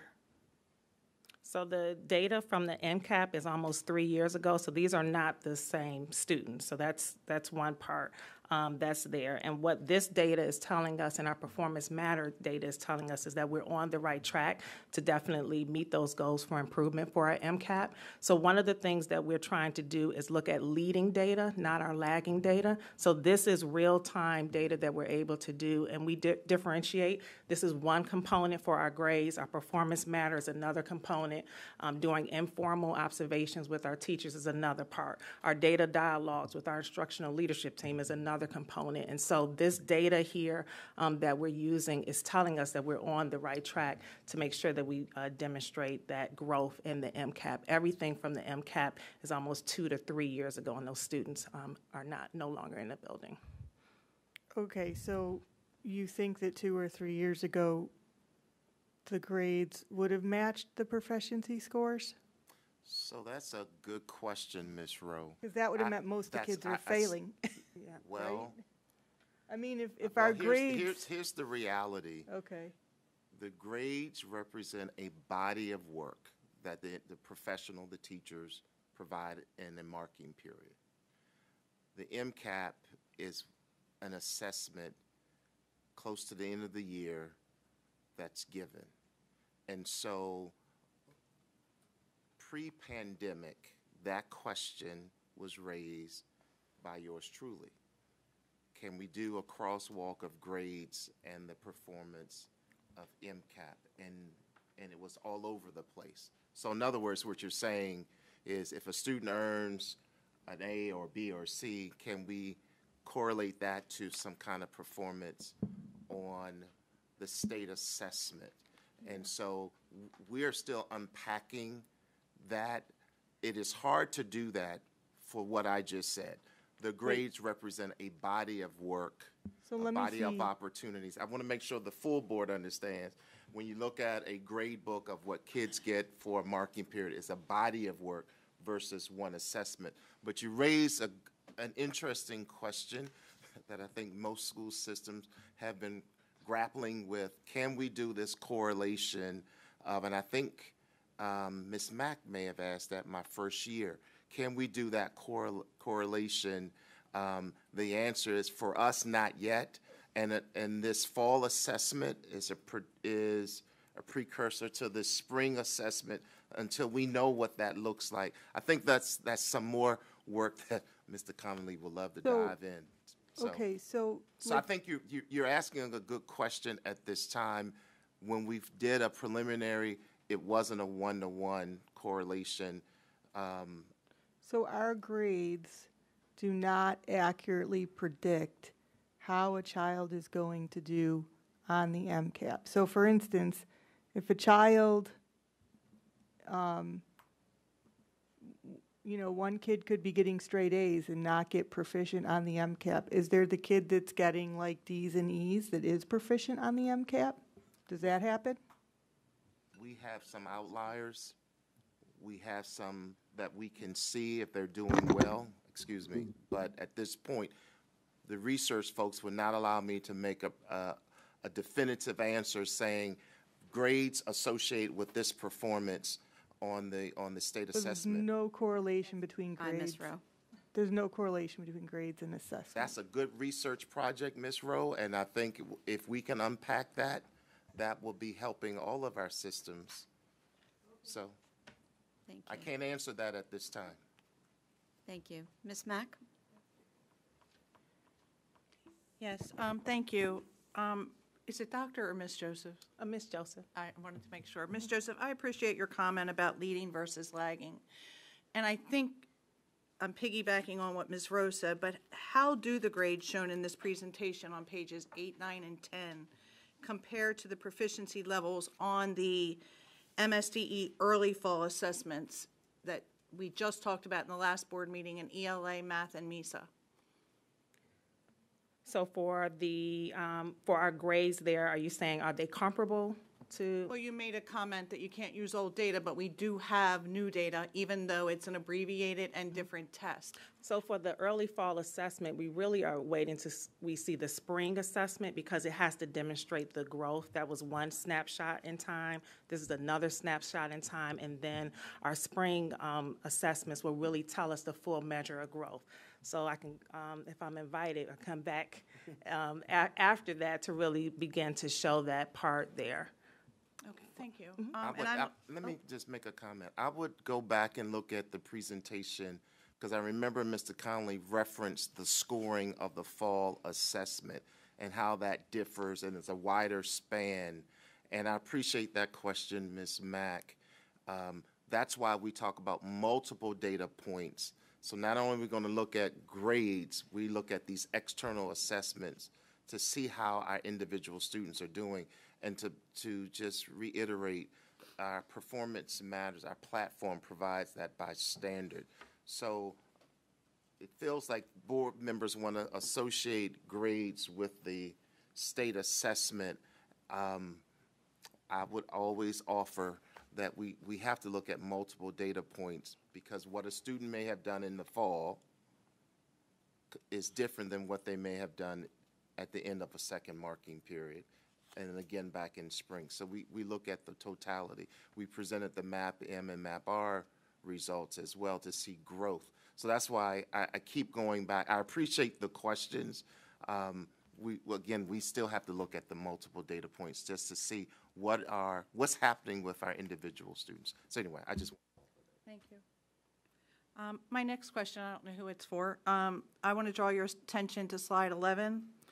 During the February 22nd board meeting, the board was informed that referral to a pupil personnel worker, worker does not happen until a student has missed 36 days of school, which I believe equates to a full quarter of school.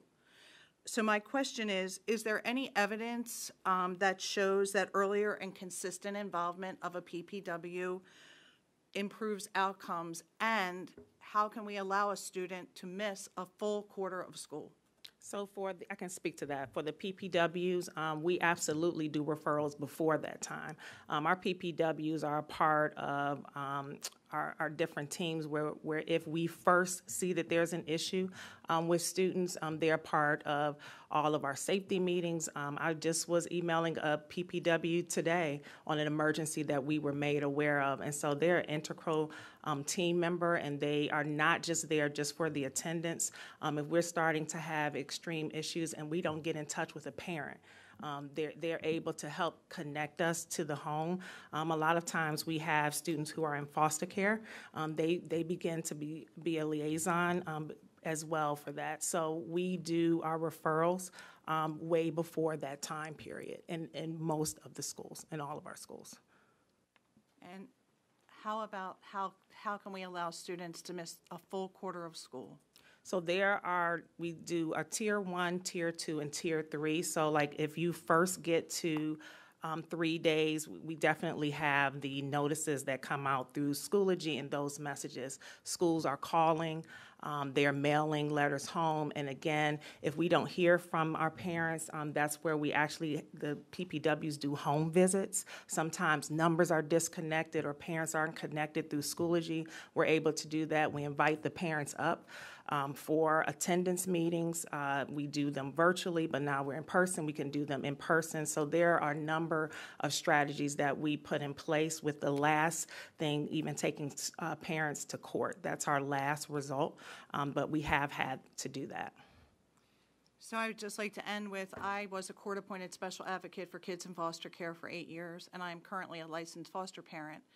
And that is the population of students, more than any other population of students who need to be well-educated, because when they age out of the system, many of them have nobody to fall back on. So I would encourage you, for obviously all of our students, but for that population, they will only have themselves and the education with which they're provided to go forward in life. So thank you. Yes, ma'am.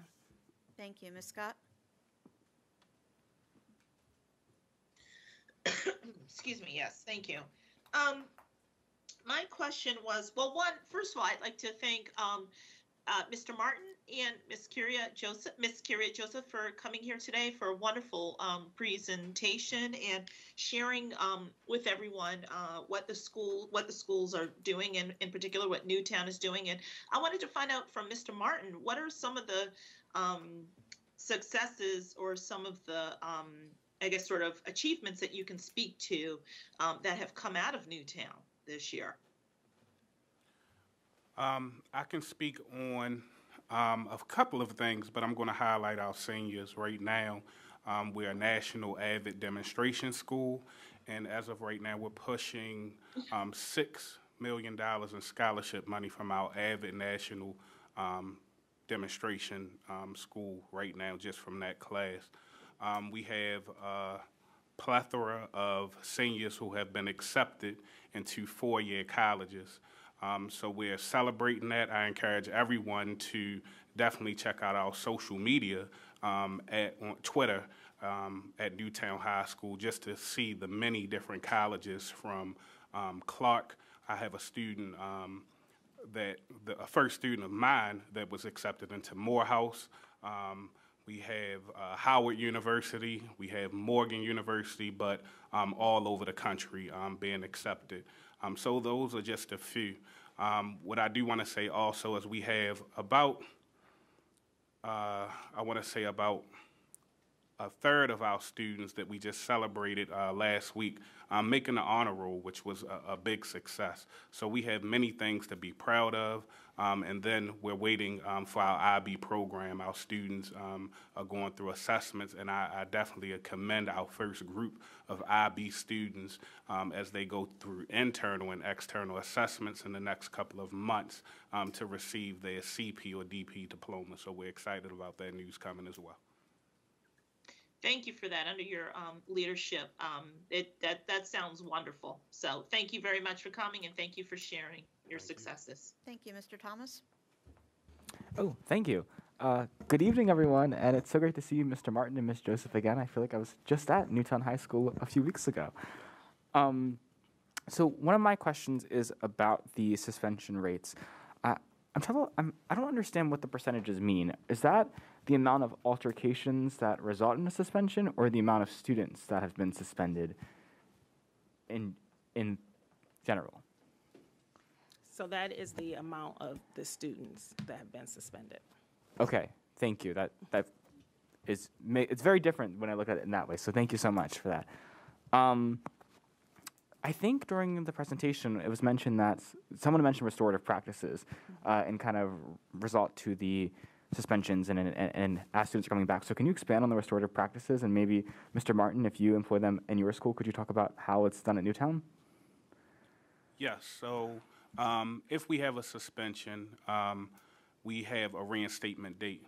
Um, during that time, um, we, we definitely do restorative practices, but um, before we would suspend a student, um, we try to do restorative practices as well. So this would include whatever the incident involved, the administrator, the counselor, and the teacher, just to try to see what resources we can offer so the offenses don't happen again.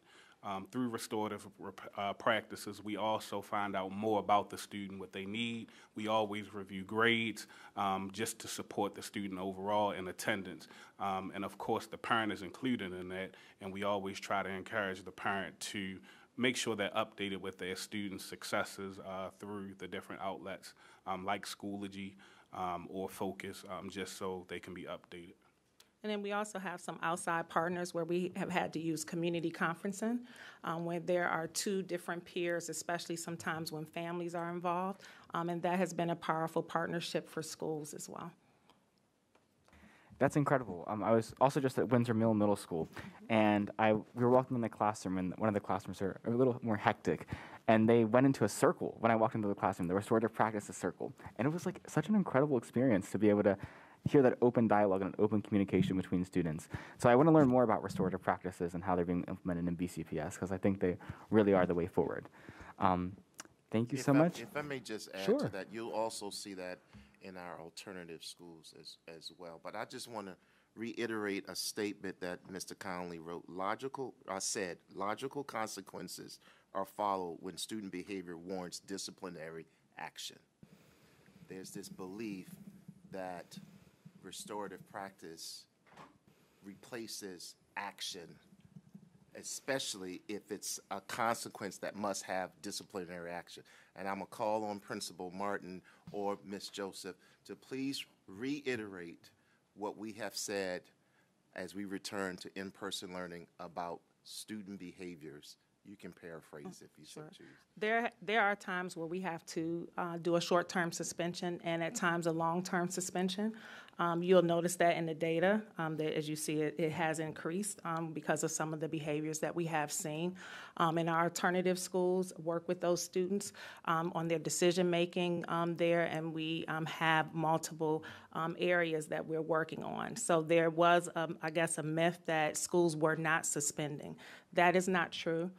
We have been, and the behaviors have warranted it.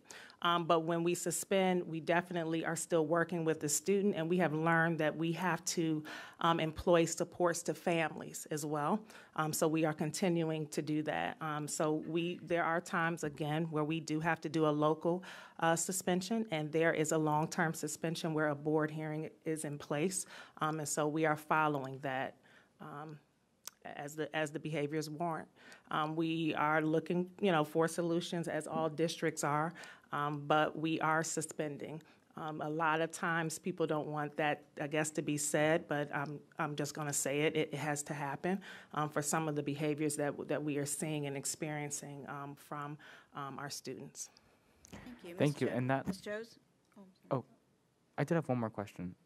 Go ahead. Is that okay? Thank you. I'm wondering, um, from, from your experience, Ms. Joseph, looking at as an executive director, or Mr. Martin in your own school community, are you seeing a trend in, in student suspensions? Are, are students that are suspended once suspended again, or is it, or and maybe even in your professional experience, or is it more of a one-time suspension? It used to be, um, it was the same students, but now we're getting this sporadic behavior, watching social media and then trying to do those images there. It's, it's, it is sporadic. Um, it's from students that you wouldn't typically see from all schools um, that I've, I've been serving. So this year, it is, is, it is sporadic where you can't necessarily see the triggers or, or see it. Um, it is, it is very sporadic, but um, some of it is the social media.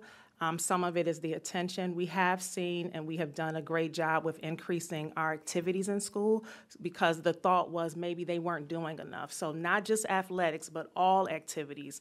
Um, schools have really done a great job, and thank you to the teachers who serve as EDA sponsors um, for doing those activities.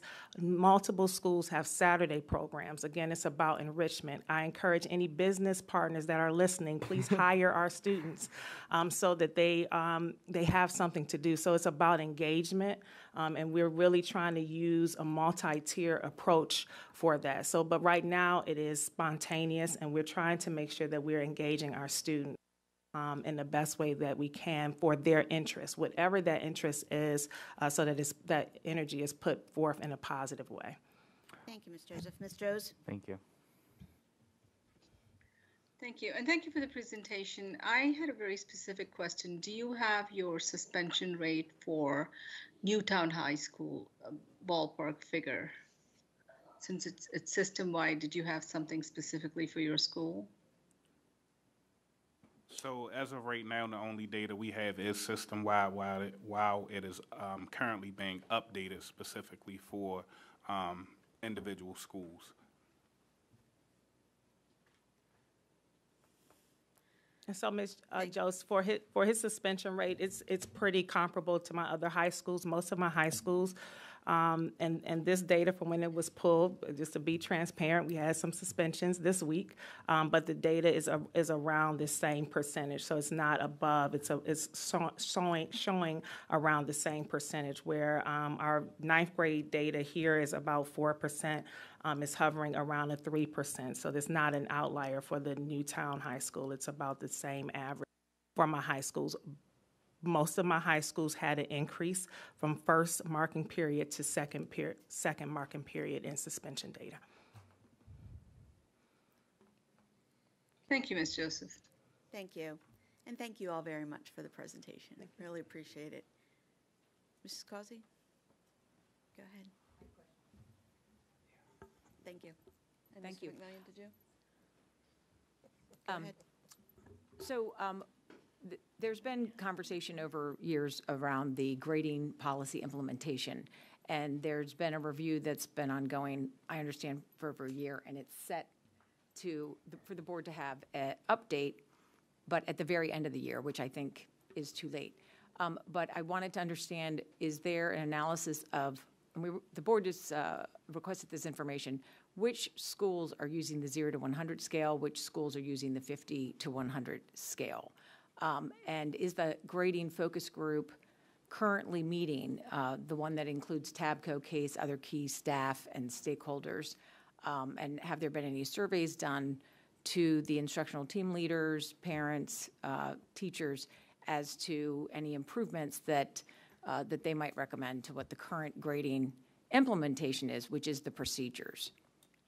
So I can address that. Thank you, Ms. Causey. Um, our grading and reporting uh, work group is does meet. They meet once a month uh, to continue that work. Uh, we have surveyed the schools to identify which schools have um, chosen which scales to use, uh, and we are working through that process, and we're on track to come to the board as scheduled. Okay, okay, thank you. And has there been analysis of, for um, implementing semester schedules as the board uh, approved in 2019 within the 8AB day schedule?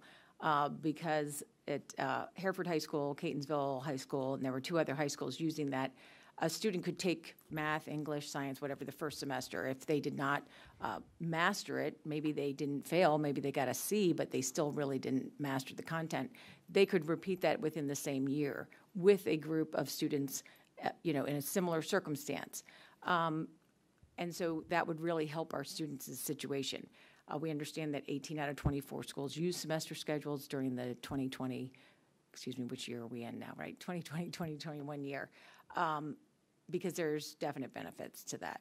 So um, all of our um, principals were allowed the opportunity to review our process for analyzing their schedules. Um, and there are uh, principals who are moving forward with that process, um, getting input from their community, um, students, and their parents as they're as they're looking at the best uh, model for their uh, schools. So the, the actual motion it supported the recommendation of BCPS um, School Day Task Force recommendations, which was led by the Chief of Organizational Effectiveness at the time. Um, It's really about which courses could be included in semester schedules, because it doesn't change the master schedule or the Bell schedule. Okay, that's time, Mrs. Causey. Thank you. If, if, if I I had- may I had other questions, but I'll email them. uh, Madam And I Chair, appreciate just it. briefly, That- because I know there's other Yes, questions. please, Dr. Um, Williams. The 19, 2019, I won't do what, 2019 and 2020, that was an option we put forth because of the pandemic and because of what we were hearing from our principals and the requests they had to look at their schedule. And then to circle back to the grading and reporting, thank you, Bos, um, Dr. Boswell McComas.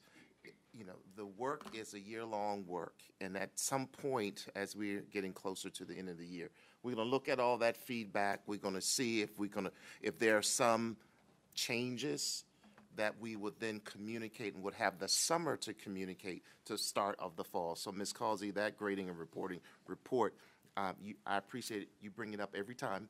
Um, that we we are going to present um, just that feedback, and if there's any change, that will give us the summer to communicate with schools and families and students. So when the new school year start, if there's some changes, we're able to implement.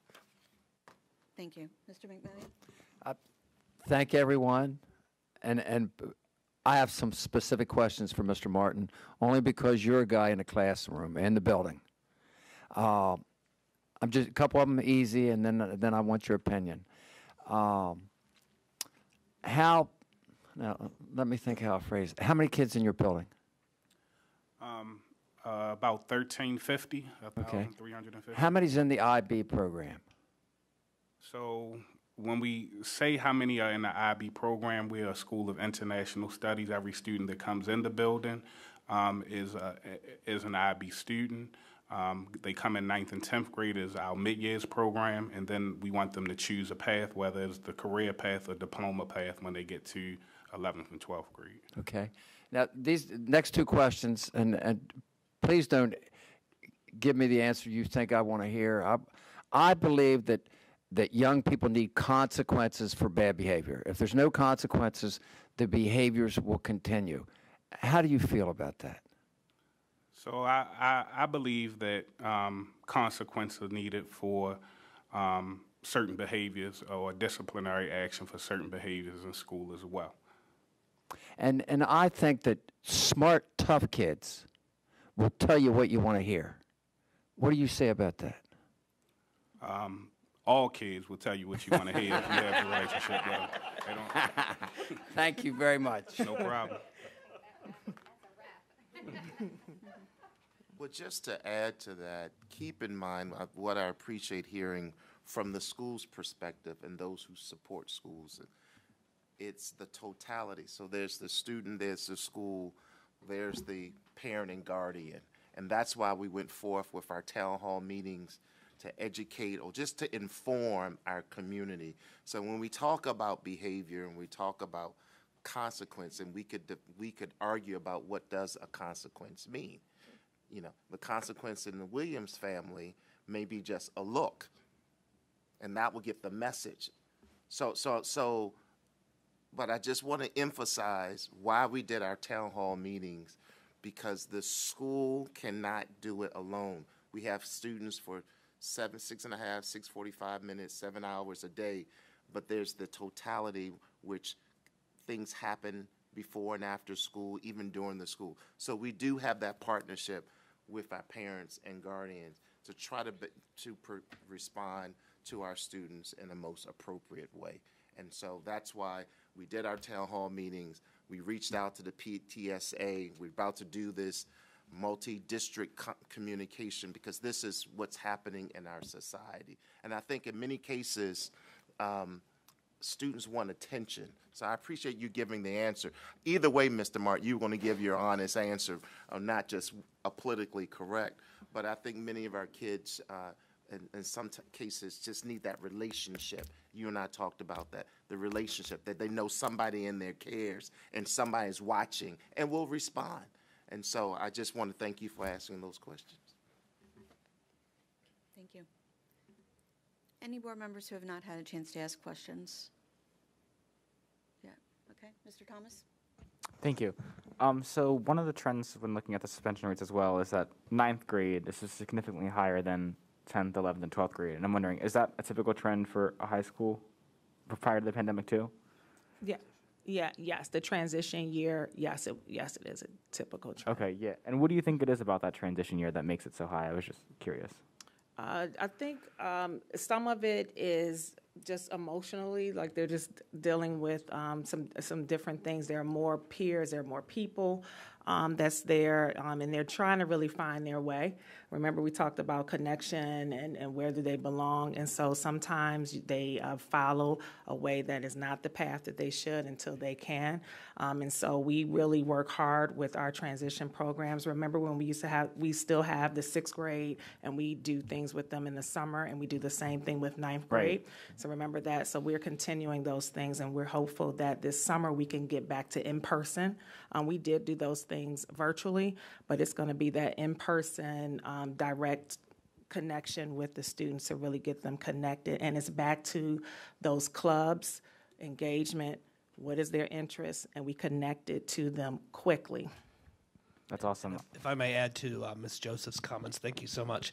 Um, our system improvement team, and I know you've heard a lot about the different uh, work groups and the work that's being done.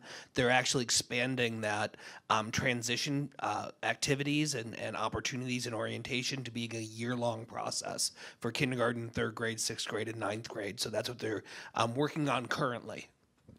Thank you so much. And I, I remember visiting New Town High School and hearing about all the different clubs and activities there. So when it was mentioned, I just re- remembered that.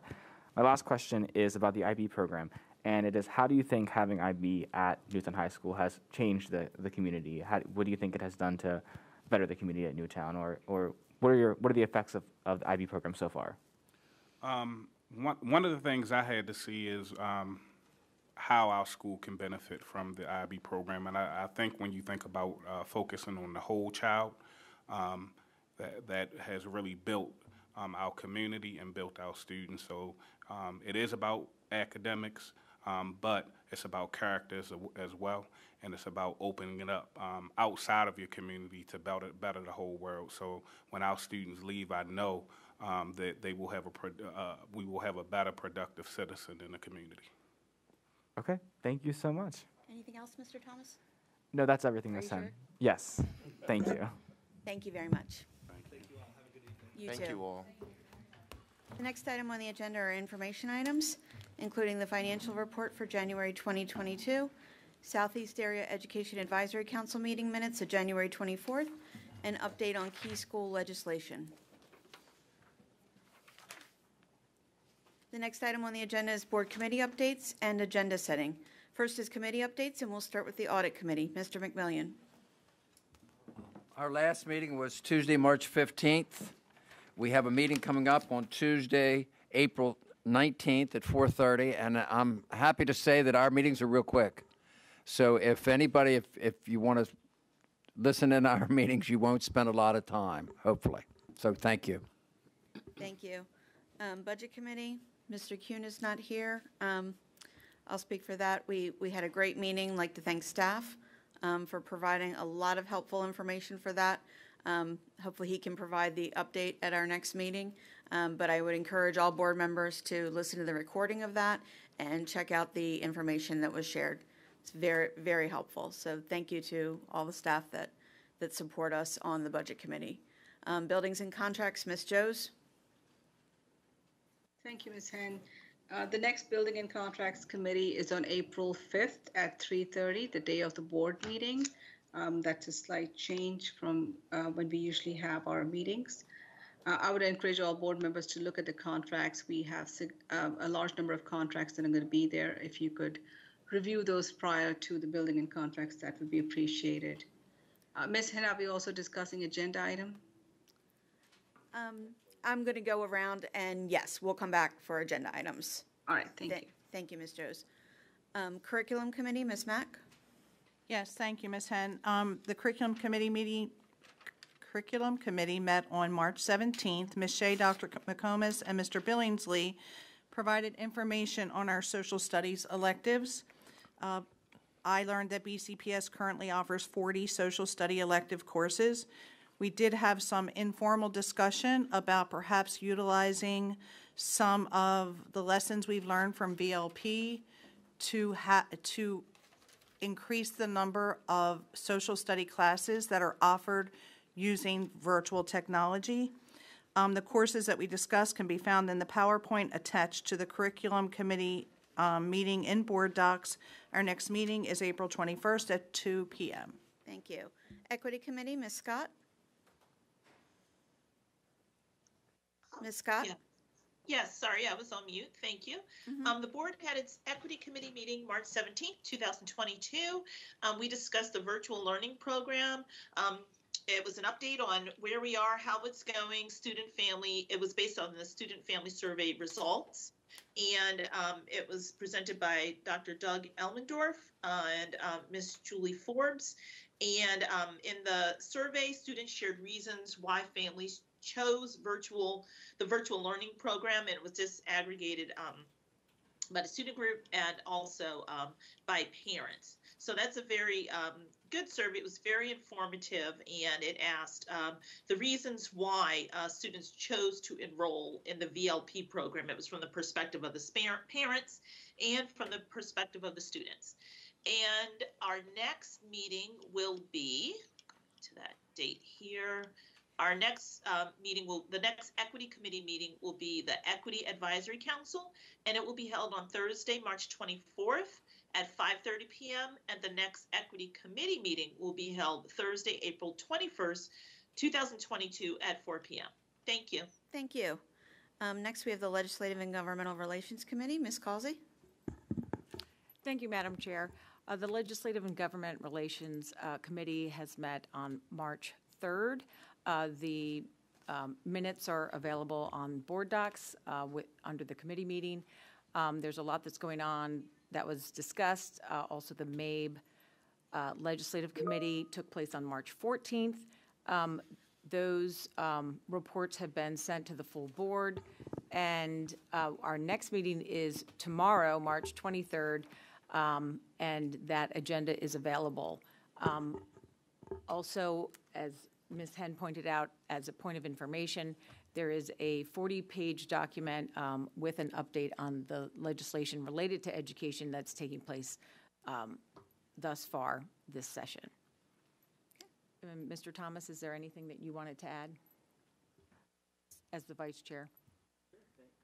Sure, thank you for the opportunity, Ms. Causey. Just that I think the legislative committee is doing some great work, and I really appreciate working with Ms. Causey to lead the committee. I can't wait for our additional meeting tomorrow. Thank you both. Um, Last but not least, the Policy Review Committee, Ms. Rowe. Thank you. The Policy Review Committee met on March 14, 2022. We were able to move several policies forward, however, there remains a significant amount of work to do as we have a number of items that have moved from one PRC agenda to another over the last two meetings. This is the result of having to give um, priority to policies which we have legal deadlines to complete and the robust discussion the members of the PRC wish to have on each policy. We have added additional meetings to account for the needed time and are beginning meetings a bit earlier. I'm open to having even more meetings, however, we are limited by the availability of committee members and staff. The committee will continue to work with staff to move as much work as we can. At this time, I'm requesting the board members refrain from requesting new policy review projects be added to the agenda until such a time as the committee can get caught up with the policy work created by the OIGE report, changes to state laws, and the mandatory rotation that policies be reviewed on a specific time cycle. The next policy review committee meeting is March 30th, 2022, from 4:30 p.m. to 6 p.m. Thank you, Ms. Rowe. Next is board member comments and agenda items for future board meetings, and we'll start with Ms. Rowe. I just want to say um, it was nice to hear a lot about the IB programs in our school system. My daughter's in an IB program, and she absolutely loves it. And I'm really glad that we're expanding IB programs to other parts of the county, and I hope that we will really continue to do that. Um, and I do not have any additional agenda items. Thank you. Thank you. Mrs. Causey? Thank you, Madam Chair. Uh, For agenda items, I um, would, uh, I think it would be helpful, we heard some really um, uh, interesting and, and um, positive information about the Performance Matters program, helping to identify uh, needed supports. And I think it would be helpful for the full board and the public to uh, receive um, an update on that. I don't know if that could be in an email or in a board meeting, or um, even if there's these amazing results possible in a, in, in a press release. so um, I think that would be important. Um, and in terms of the grading policy implementation um, review that's happening, if it can be brought forward sooner, I think that would be important in order to evaluate any and every um, improvement that we might make for our students. Thank you. Thank you. Ms. Mack? I had an agenda item and comments, but I left it home, so I'll pass. Thank you. Thank you. Ms. Droz? Thank you. Uh, So in December of 2021, the Office of Inspector General of Education had stated that the Board of Education had violated procurement laws. In response, the Board of Education on January 25th uh, responded with a letter and a corrective action plan.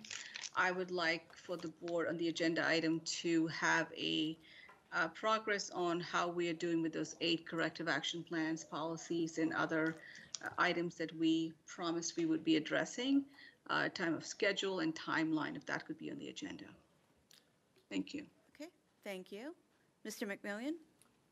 I'd just like the board to know and the public that we haven't forgotten about moving the board meetings around the county.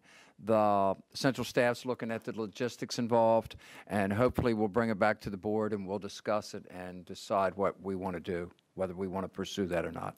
Thank you. Thank you. Mr. Thomas? Thank you, Ms. Henn. Uh, first, I want to congratulate our 42nd student member of the board-elect for BCPS, Ms. Roa Hassan. Uh, many of you may already know her from her public comment that she's given at board meetings. Um, but both her and the other candidate, Masafar, did an incredible job campaigning with students across the county to increase student turnout for this election. And I'm excited to continue to work with Baltimore County Student Councils these next few months to continue to increase turnout. Ro will be an amazing SMOB next year, and she is both ambitious, excited, and ready to get to work. She's, she's so incredible. Um, since the start of March, I have visited 21 schools in BCPS, and I'll list them really quickly. Kemet High School, New Town High School, Hereford High School, Dulaney High School, Summertime Middle School, Windsor Mill Middle School, Sudbrook Magnet Middle School, Hereford Middle School, Pine Grove, Loch Raven Technical, Cockeysville, Ridgely, Middlesex Elementary School, Edmondson Heights, Johnny Cake, Logan, 7th District, Chadwick, Campfield Early Learning Center, and Padonia International. And they were all such incredible visits, uh, witnessing everything from restorative practices and conscious discipline in play, academic excellence, and incredible magnet programs, petting baby chicks with the students at Hereford High School, touring the outside of the new Northeast Elementary School, Rossville Elementary School with staff to learn more about it, and just walking in the hallways, going in the cafeterias, and, and really connecting with our students to understand the diverse needs of our system. Lastly, I just want to state that the curriculum committee is doing some great work. I really loved our presentation last Thursday about the social studies electives, and I encourage all of our board members to go back and review that presentation. Thank you, and have a great night, everyone. Mr. Offerman? Yes, uh, I would like further, uh, a further look at, at the two various types of, uh, of, uh, of, of- high school scheduling options. Uh, my, my, I've heard, you know, uh, uh, Ms. Causey talk about the benefits, and I, I agree with a lot of what she said. My concern is what happens in, in sort of sequential things. If you take the course in the first semester, so let's say Algebra 2, or Algebra 1, like, for instance, and in the second semester, you're now headed to Algebra 2, but if, you know, but it, it, it could be a, a, an eight month, an, uh, an eight month gap. And I, I'm, I'm concerned about that, and if that, and, and, and foreign languages, and, and maybe, uh, and maybe, uh, se- several other courses in terms of, of how that might, uh, how that might, uh, uh, how that might, excuse me, how that might, impact success for students. That's all, thank you. Thank you. Ms. Scott? Yes, thank you. Um, I would just like to see, as I've said before, an update on um, where we are with the board recommendations from the efficiency review by Public Works. Um, I think it does us a disservice to act like there were no recommendations specific to the board and to not discuss them. Um, they were serious and they uh, speak directly to the role of this board and to the success of the school system. So I would like to see that addressed on um, an agenda item coming up specifically. Thank you. Thank you. Dr. Hager? Um, I just uh, want to think back to the beginning of the meeting when we honored our state counselors of the year, and it would be great in a future agenda item to uh, dig deeper into how we can support our counselors across the county. Um, we heard about it, the best, the ideal ratios and the ideal use of their time during the school day, and uh, how close we are to meeting that, and things like that. I think would be great to cover. Great. Thank you. Um, Mr. Kuehn is not here. I will um, second, uh, as far as an agenda item, I would love to see a demo of Performance Matters and to learn more about that system, including how it fits in with our um, educators' days. Um, we continue to add more to the school day, so I'd like to see what we're taking off their plates in order for them to use this, what it's replacing, and how they fit it in with their days and how we can support them in using it. Um, also, I look forward to learning about the multi-district safety roundtable that Dr. Williams shared with us in April and any outcomes of that, as well as learning about the comprehensive school safety plan. Um, I'm excited to hear more, particularly about the school safety assistance and other initiatives um, to improve school climate, because that's we've continued to hear um, across the system about how important that is and addressing the um, social emotional needs of our, our students, but also in the, addressing the behaviors that have resulted as a result. So look forward to that. So thank you, everyone, for sharing those. And that brings us to the last item on the agenda, which is announcements. The board's next meeting will be held on Tuesday, April 5th, 2022 at 6:30 PM. Thank you for joining us tonight. The meeting's now adjourned.